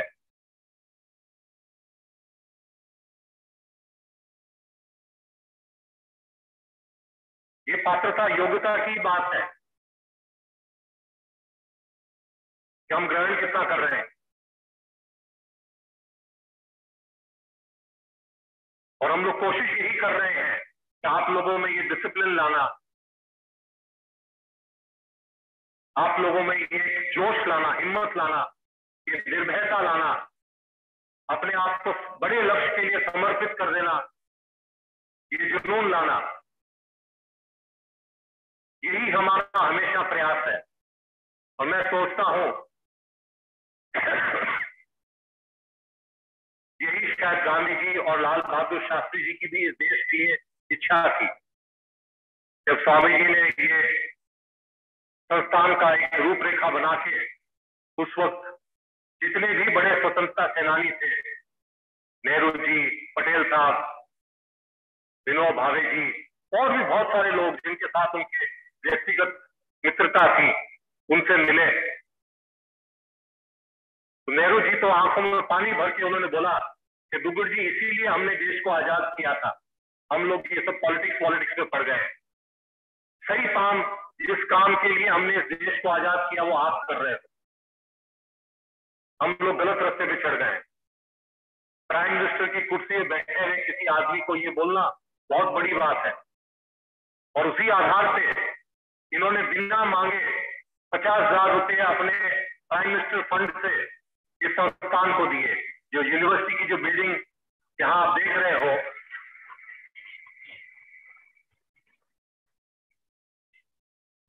उसका जो पहला निर्माण हुआ उसी पैसे से हुआ। उसके बाद लाल बहादुर शास्त्री जी जब प्राइम मिनिस्टर बने, उन्होंने भी यहाँ सिक्कर के अंदर एक कैंसल शो हुआ। और वहाँ पे नौ में से आठ प्राइज हमारी गौशाला ने जीते देश भर का कैंसल शो था। शास्त्री जी, पूज्य स्वामी जी को जानते थे तो उन्होंने विनोद में कहा दुगड़ साहब दुगड़ जी, आपने एक जो ये प्राइस है, ये आपने कैसे छोड़ दिया? तो कुछ स्वामी जी ने विनोद पूर्वक ही वापस कहा कि महाराज, क्या करें? कुछ चार महीने पहले यहाँ पास में एक गौशाला है, उनको एक सांड की आवश्यकता थी। हमसे सांड मांगा, हमने उनको सांड दे दिया। वही सांड, ये जो नौवा प्राइज लेके जा रहा है, वो वही सांड है।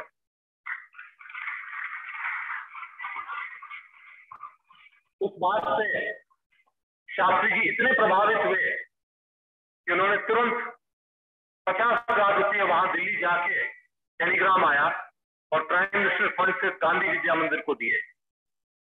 ये जो आप अभी गौशाला का जो बिल्डिंग देख रहे हैं, जहाँ गौशाला संचालित हो रही है, ये उसी पैसे से बना हुआ है। क्योंकि इस संस्थान का जो मोटो है, वो कुछ न चाहो काम आ जाओ। ये है, इसलिए इन सब चीज़ों के शिलालेख नहीं है। इस संस्थान के अंदर बहुत कम शिलालेख हैं। उसका कारण यही है कि संस्थान का यही रहा, कुछ न चाहो काम आ जाओ। ये पूज्य शरणानंद जी महाराज का दिया हुआ वाक्य है, जो इस संस्थान ने कुछ स्वामी जी के माध्यम से अपनाया है। स्वामी जी ने अपनी ज़िंदगी में इसको जी के प्रमाणित करने की पूरी कोशिश की। और मेरा ऐसा मानना है कि वो सफल हुए।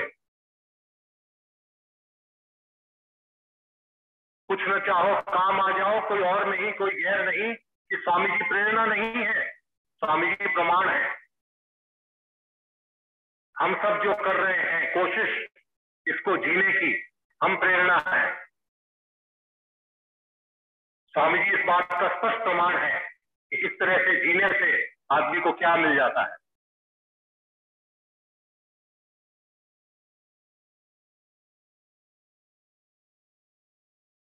मेरा आप सब लोगों से अनुरोध है आप सब लोग इसके बारे में गहनता से सोचें छोटी चीज़ में मत फंसे। भोग में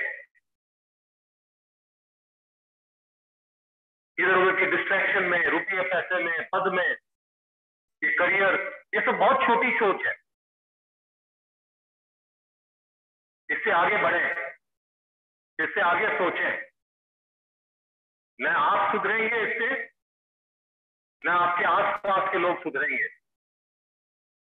और अगर इन सबको छोड़ दिया और बड़ी चीज़ की तरफ़ चले गए, आप भी सुधर जाओगे, बड़े आदमी बन जाओगे। रुपये, पैसे और पद से कोई आदमी बड़ा नहीं हुआ है। इतिहास गवाह इस बात का। आज तक नहीं होना आज कैसे, अब कैसे होगा? कोई आदमी रुपये, पैसे और पद से बड़ा नहीं होता। इनफैक्ट ये कहना भी अतिशोक्ति शायद नहीं होगी कि ज़्यादा रुपये पैसे मिलने और ज़्यादा पद मिलने से अधिकांश लोगों का पतन होता है। अधिकांश लोगों का, सबका मैं नहीं कहता।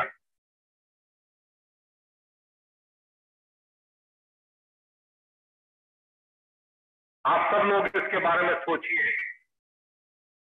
और स्वामी जी ने जो हमारे सामने उनके गुरु जी का जो कहा हुआ वाक्य था उसको जी के हमको प्रमाणित किया है। वो आप लोग प्रेरणा के रूप में स्वीकारें एक छोटी सी बात आपको और कहूँगा अंत में। स्वामी जी के जो गुरु जी थे, वो आँखों से अचक्षु थे, दिखता नहीं था, अंधे थे। तो पूज्य स्वामी जी उस वक्त हिंदुस्तान के जो सबसे बड़े आँखों के डॉक्टर थे, उनको बात, उनको लेके गए। और उनकी आँखें दिखाई कि महाराज इनकी आँखें कैसे करके ठीक हो सकती है क्या? तो आँखें का चेक कराने के बाद उस डॉक्टर का हाथ पकड़ के स्वामी जी साइड में लेके गए। और उन्होंने उस डॉक्टर को कहा कि महाराज कोई ऐसा रास्ता है जिससे मेरी आँख निकाल के आप मेरे गुरु की आँख में डाल दो, ताकि इनको दिख जाए। मैं अंधा हो जाऊँगा, मुझे कोई शोभ नहीं होगा। मेरी आँख कैसे करके मेरे गुरु के काम आ जाए। ये था स्वामी जी का समर्पण। धन के प्रति उनकी कामना नहीं थी, पद के लिए नहीं थी धन के लिए भी उनको नहीं था कि शरीर रहे, नहीं रहे, कोई बात नहीं। शरीर की पीड़ा हो, नहीं हो, कोई बात नहीं। और शायद इसी भाव के कारण स्वामी जी को इच्छा मृत्यु का ये वरदान मिला। जिसके बारे में मैं आप लोगों के सामने हर बार बात करता हूँ। क्योंकि ये शुद्ध जो परोपकार करने का भाव था, उसके फलस्वरूप ही ये मिला।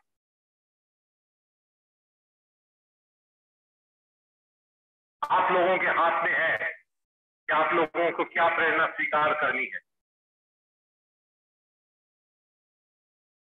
अगर आप लोग स्वामी जी की जी हुई जो चीज़ है, और बाकी आपके इर्द गिर्द बहुत से लोग हैं जो उसको जीने का प्रयास कर रहे हैं, उसको अगर आपने स्वीकारा तो आप लोग बड़े आदमी बन गए।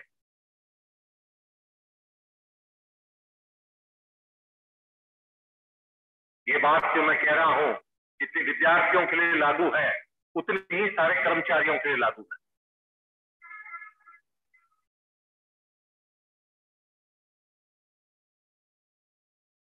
सोचिए इसके बारे में।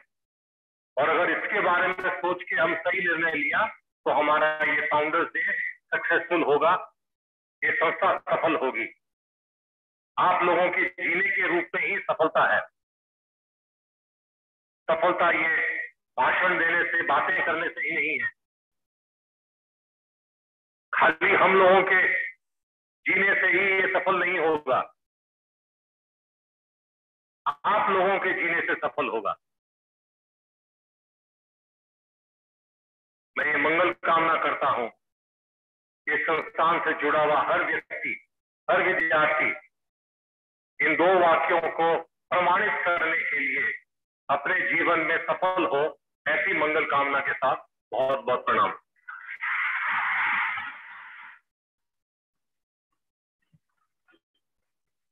धन्यवाद महोदय। कार्यक्रम की आगामी प्रस्तुति के लिए मैं देसी पब्लिक स्कूल से विद्यार्थियों को नृत्य प्रस्तुति के लिए आमंत्रित करती हूँ, जिसके बोल है लहरा दो। इसके तुरंत बाद मानविकी एवं सामाजिक विज्ञान संकाय की छात्राएँ अपनी भजन प्रस्तुति के लिए तैयार रहे। सीधा सादा वेश था, ना कोई अभिमान था। खादी की एक धोती पहने, खादी की शान था।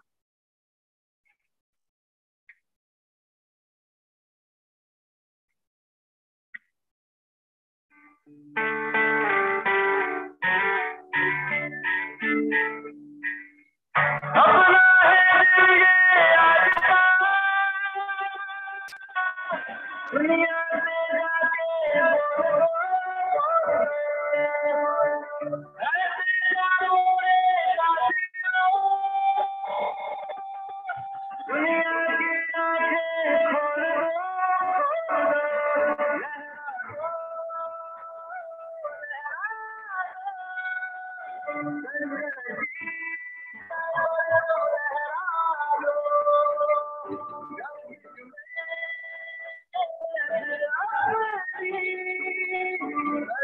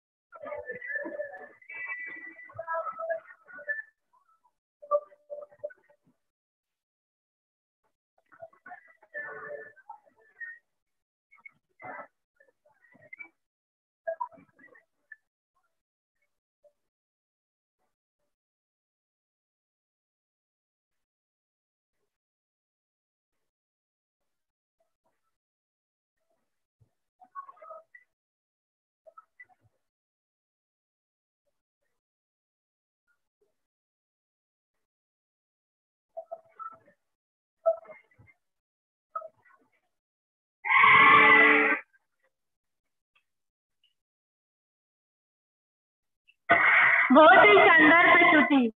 अब मानवीय एवं सामाजिक विज्ञान संकाय से गुड्डू जांगीर व रूपा को, जो स्वामी जी द्वारा रचित भजन हरि में शरण तिहारी आया, को प्रस्तुत करेंगी। इसके तुरंत बाद शिक्षा संकाय के विद्यार्थी अपनी भजन प्रस्तुति के लिए तैयार रहे कृपया गुड्डू जांगीर व रूपा मंच पर पधारें।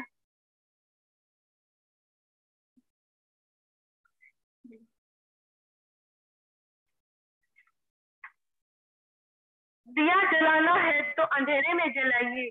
दिया जलाना है तो अंधेरे में जलाइए। उजाले में क्या रखा है? उजालों में क्या रखा है? अपने मन को दयालु बनाइए। अपने मन को दयालु बनाइए। क्रूरता में क्या रखा है?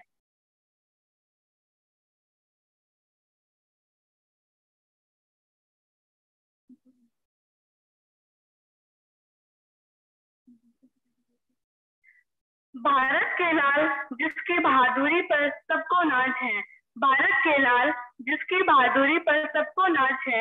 ऐसे शास्त्री जी की ज़रूरत देश को आज है। ऐसे शास्त्री जी की ज़रूरत देश को आज है।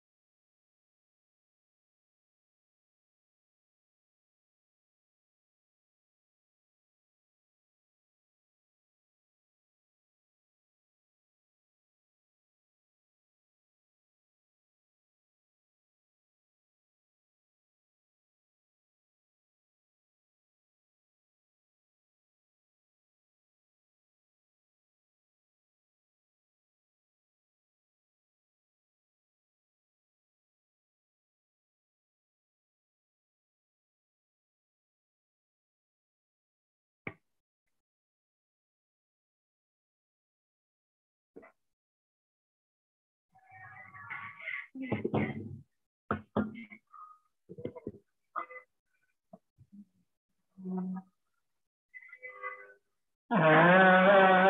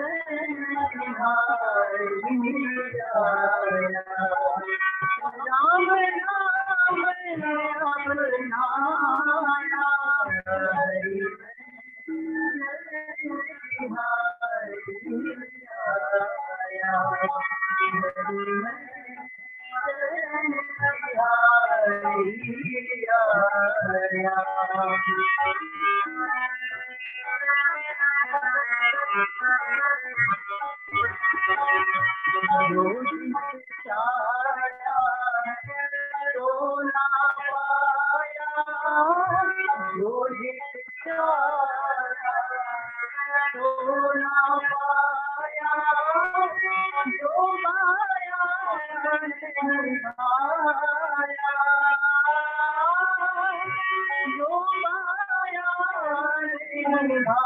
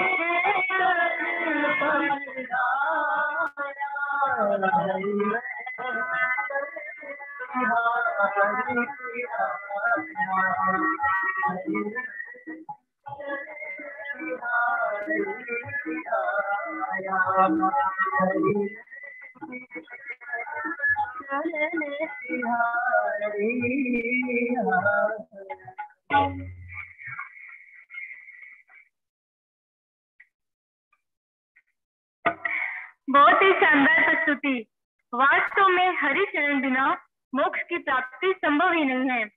जिसने हरि को पा लिया, जिसने हरि को पा लिया, समझो बहुत सागर पार कर लिया। अब मैं अनुरोध करती हूँ कि शिक्षा संकाय के विद्यार्थियों से कि वो अपनी प्रस्तुति देने हेतु मंच पर पधारे, जिसके बोल हैं, श्री राम नाम गुण में।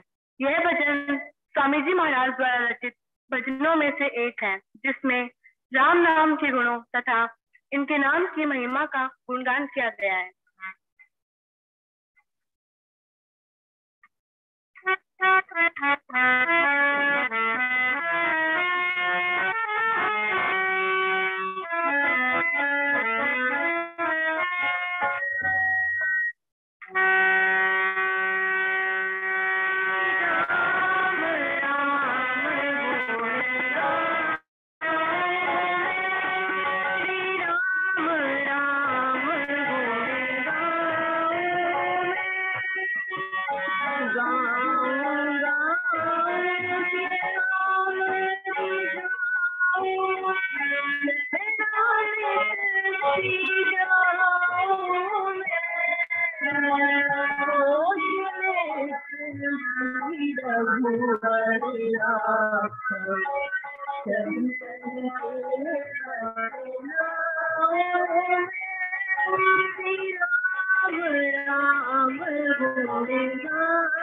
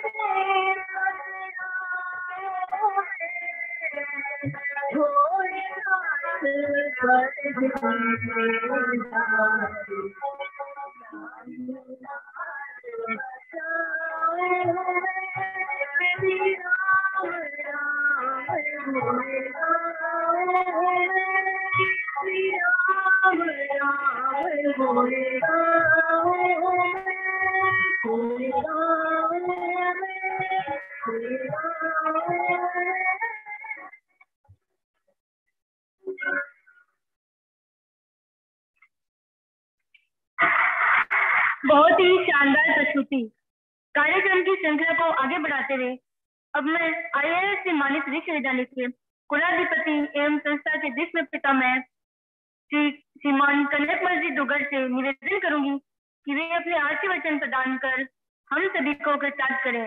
एवं आईएएस से मानित विश्वविद्यालय के हैंडबुक विमोचन हेतु सादर आमंत्रित करती हूँ। श्रीमान कनकमल जी दुगर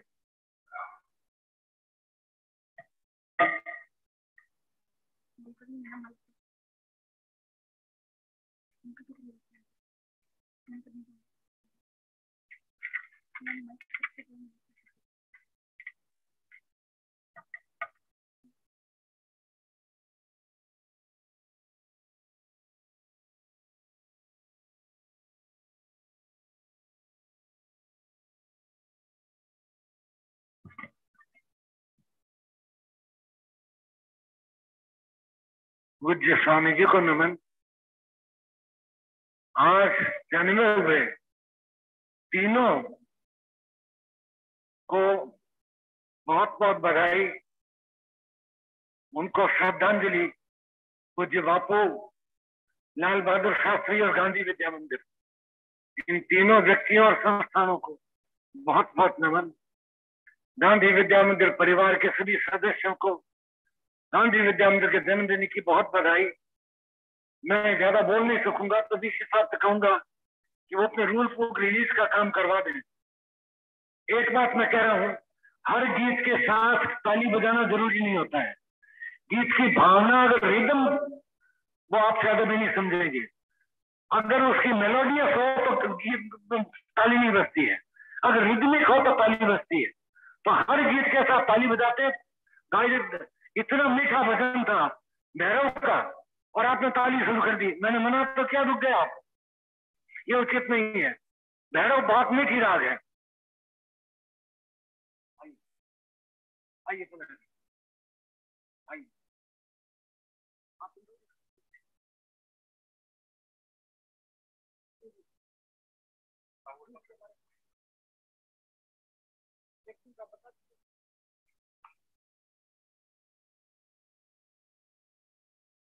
मैं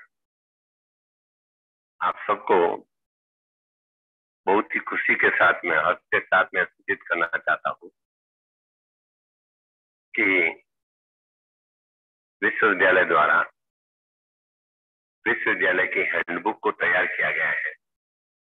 सामान्यतः हर विश्वविद्यालय में एक हैंडबुक होती है, जिसमें एक्ट होता है। हमारे यहाँ रेगुलेशन है उसकी जगह। इंस्टीट्यूट होते हैं। उनकी जगह हमारे यहाँ रूल्स हैं और ऑर्डिनेंसेज होते हैं, जिनकी जगह हमारे यहाँ बायोलॉज है। तो ये तीन पार्ट में हैंडबुक होती है और विश्वविद्यालय बनते ही पाँच छह महीने में, साल भर में इसको तैयार कर लिया जाना चाहिए। तो विश्वविद्यालय द्वारा इस हैंडबुक को तैयार कर लिया गया है और बहुत ही स्पष्ट, बाकी जगह आप देखेंगे कि वो पढ़ने में नहीं आती है, ऐसा होता है। बहुत ही स्पष्ट है। आपको हैंडबुक निकालते ही तीन ऑप्शन मिलेंगे। आप रूल्स देखना चाहते हैं बाइलॉज देखना चाहते हैं या रेगुलेशन देखना चाहते हैं। उनके इंडेक्स आएँगे और इंडेक्स में भी आपको ढूँढने की ज़रूरत नहीं है। आप जिस प्रोविज़न को देखना चाहते हैं इंडेक्स में उसको क्लिक कीजिए, सीधा वो प्रोविज़न आएगा। और एकदम इतना स्पष्ट है कि जैसे कि एकदम आपको प्रिंटेड बुक मिली हुई हो इस तरह की व्यवस्था माननीय कुलाधिपति जी के आदेश और निर्देशानुसार की गई है। तो इस वेबसाइट का और जो भी है, इसको लोड करने का काम और इसका उद्घाटन करने के लिए माननीय कुलाधिपति जी हम लोगों ने निवेदन किया था। मैं उन्हें पुनः पूरे विश्वविद्यालय परिवार की तरफ़ से और जीवीएम की तरफ़ से अनुरोध करता हूँ कि वे विश्वविद्यालय हैंडबुक का आज लोकार्पण करें।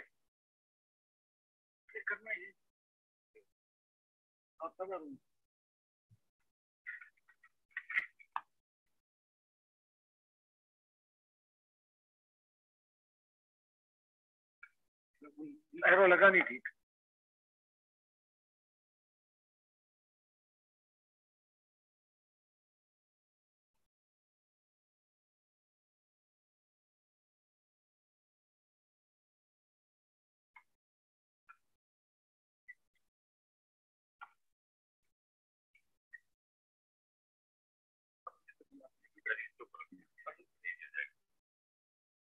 हो गया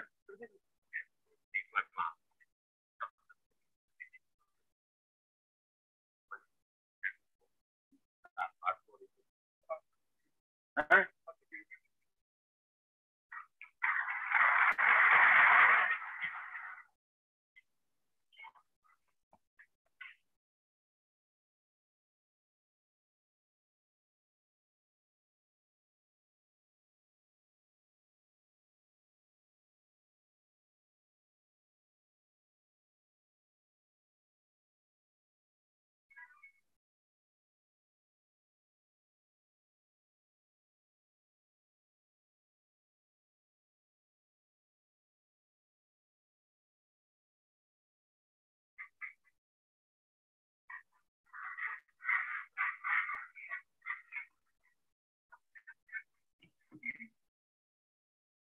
धन्यवाद महोदय। सादगी, ईमानदारी, यही है शास्त्री जी की पहचान। सादगी, ईमानदारी, यही है शास्त्री जी की पहचान। सत्ता पाकर भी नहीं था, उन्हें तनिक भी अभिमान। सत्ता पाकर भी नहीं था, उन्हें तनिक भी अभिमान। अब मैं बुलाना चाहूँगी मानविकी एवं सामाजिक विज्ञान संकाय के छात्र को अपने भजन प्रस्तुति हेतु, जिनके बोल हैं, वैष्णव जन को तेने कहिए।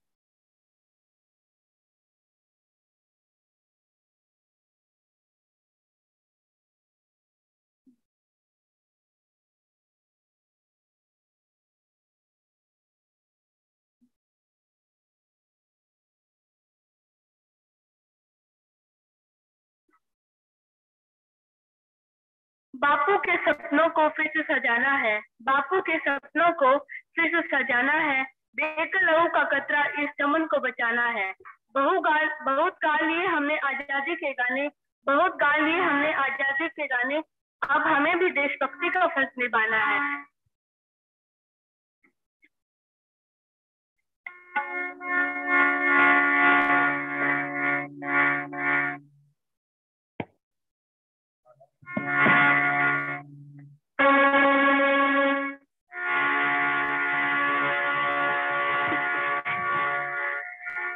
Uh,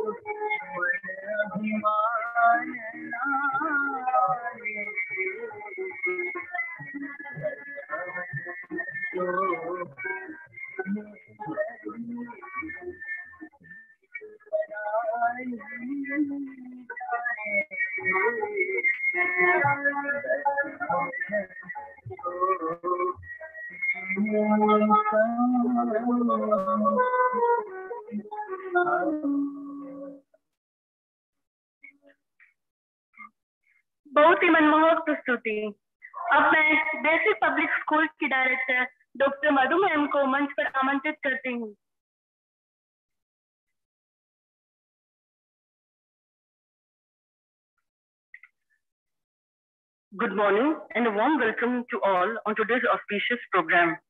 This is the time to acknowledge the talent and hard work of our brimming students, Ms. Pranjal Parikh and Ms. Akanksha Sharma.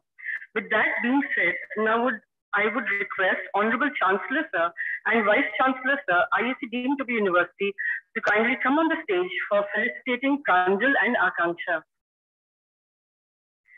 I feel honored as the Director of Basic Public School and on behalf of Gandhi Vidya Mandir, I would like to congratulate Ms. Pranjal Parikh, daughter of Dr. Prabha, Dr. Avinash Parikh, on cracking NEET examination in 2022 and Ms. Akanksha Sharma, daughter of Sri Pradeep Srimati Geeta Sharma, for clearing her JET examination in 2022 in the first attempt. I would like to congratulate them for this great achievement. Your hard work and dedication to studies have brought here to be felicitated. It is indeed an honor for both parents as well as the school. Now I would like to call upon Ms. Pranshal Parikh, student of 2018-19 batch to come on the stage. Pranjal has obtained a rank of 4,528 in the general category with 99.45 percentile. A big round of applause for Pranjal, please.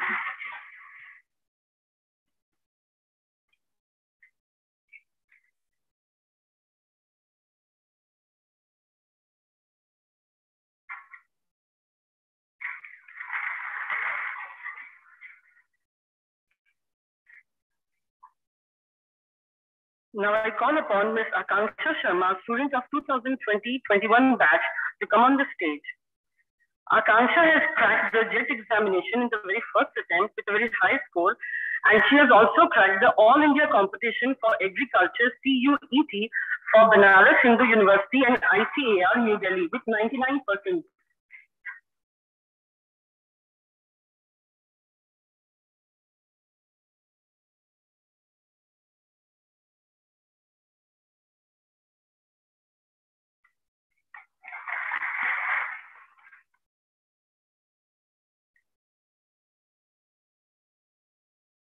Thank you, sir.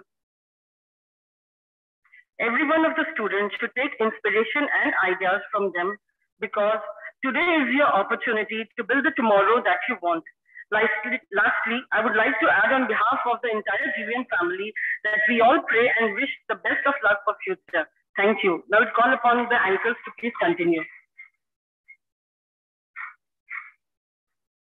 धन्यवाद महोदया अब मैं गांधी विद्या मंदिर के सचिव brigadier Ajay Pati Tripathi ji से निवेदन करती हूँ कि वे मंच पर आकर अपना धन्यवाद उद्बोधन प्रदान करें।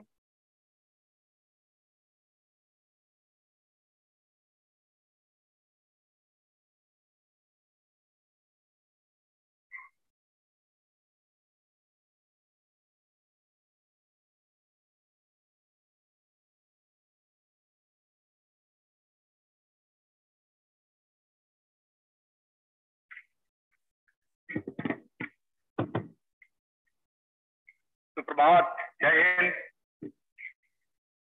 पूज्य स्वामी जी को सादर नमन करते हुए आज गांधी विद्या मंदिर के बहत्तरवें संस्थापना दिवस पूज्य बापू और पूर्व प्रधानमंत्री श्री लाल बहादुर शास्त्री जी की जयंती के शुभ अवसर पर मैं मंच पर उपस्थित सभी महानुभावों, सोहन सभागार में उपस्थित एवं आभासीय माध्यम से गांधी जुड़े।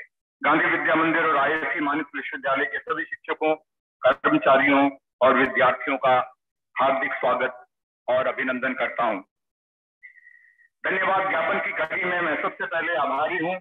गांधी विद्या मंदिर के पूर्व अध्यक्ष आईएससी मानित विश्वविद्यालय के कुलाधिपति और वृहद गांधी विद्या मंदिर परिवार के भीष्म पितामह, माननीय श्री कनकमल जी दुगड़ का जिनके आशीर्वचन हमें हमेशा मिलते रहते हैं। तत्पश्चात मैं धन्यवाद देना चाहूँगा गांधी विद्या मंदिर के ऊर्जावान अध्यक्ष श्री हिमांशी जी दुगड़ का, जिनके कुशल नेतृत्व में कुछ ना चाहो, काम आ जाओ और कोई और नहीं, कोई गैर नहीं के महावाक्यों का पालन करते हुए संस्था ने नए आयामों को आयामों को छुआ है और कोविड 19 कुंभ, महाकुंभ और आजकल लंपी वायरस से पीड़ित गोवंश की सेवा में अभूतपूर्व कार्य किया जा रहा है। इसके बाद मैं धन्यवाद दूँगा आईएससी मानस विश्वविद्यालय के कुलपति professor B L Sharma ji का, जिन्होंने अपने छोटे से कार्यकाल में विश्वविद्यालय में एक नई ऊर्जा का संचार किया है और उनके महान अनुभव का लाभ हमें हमेशा मिलता रहता है। इसी क्रम में मैं धन्यवाद देता हूँ आईएससी मानित विश्वविद्यालय के सम कुलाधिपति प्रोफेसर देवेंद्र मोहन जी का आईएससी मानित विश्वविद्यालय के उप कुलपति डॉक्टर पुष्पा मोटियानी जी का, आईएससी मानित विश्वविद्यालय के रजिस्ट्रार श्री धर्म सिंह गहलोत जी का, गांधी विद्या मंदिर के अतिरिक्त सचिव श्री जितेंद्र पारिक जी का, श्री राम प्रसाद पारिक जी का, गांधी विद्या मंदिर के सभी प्रवृत्तियों के एवं विश्व गांधी विद्या मंदिर और आईएससी मानित विश्वविद्यालय के सभी प्रवृत्तियों के प्रवृत्ति प्रधान और विशेष तौर पर डॉक्टर रविंद्र कुमार जी का, जिनका सहयोग मुझे हमेशा मिलता रहता है। अब मैं धन्यवाद देना चाहूँगा गांधी विद्या मंदिर एवं आईएससी मानित विश्वविद्यालय के सभी प्रवृत्ति प्रधानों शिक्षकों, कर्मचारियों एवं विद्यार्थियों का जिनके सहयोग से कितना मनमोहक कार्यक्रम एक सूत्र में पिरोकर हम सबके सामने प्रस्तुत किया गया। मैं धन्यवाद देता हूँ अपनी टेक्निकल टीम का, जिसमें डॉक्टर कैलाश पारिक, श्री मनीष सैनी और खास तौर पर श्री विजय पारिक जी हैं, जिन्होंने कल ही पूरे सभागार के साउंड सिस्टम को अपडेट किया है। और ये पहला कार्यक्रम अपग्रेडेड साउंड सिस्टम के ऊपर चला है। आपको कैसा लगा, ये बताइएगा।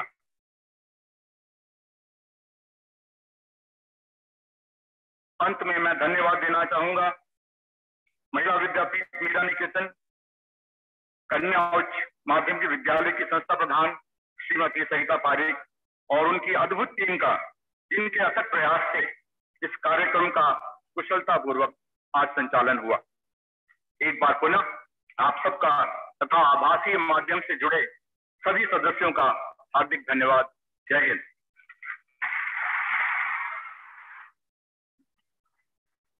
धन्यवाद महोदय। अब मैं कुलाधिपति महोदय की आज्ञा से कार्यक्रम के मंगल की घोषणा करते हुए यहाँ पर उपस्थित सभी पदाधिकारियों तथा निमंत्रित महानुभावों से निवेदन करती हूँ कि वे अल्पाहार हेतु तरुण कुटीर में प्रस्थान करें। यहाँ पर उपस्थित सभी से मेरा निवेदन है कि आप शांतिपूर्वक अपना स्थान छोड़ते हुए कार्यक्रम की सुव्यवस्था बनाए रखने में हमारा योगदान करें। धन्यवाद।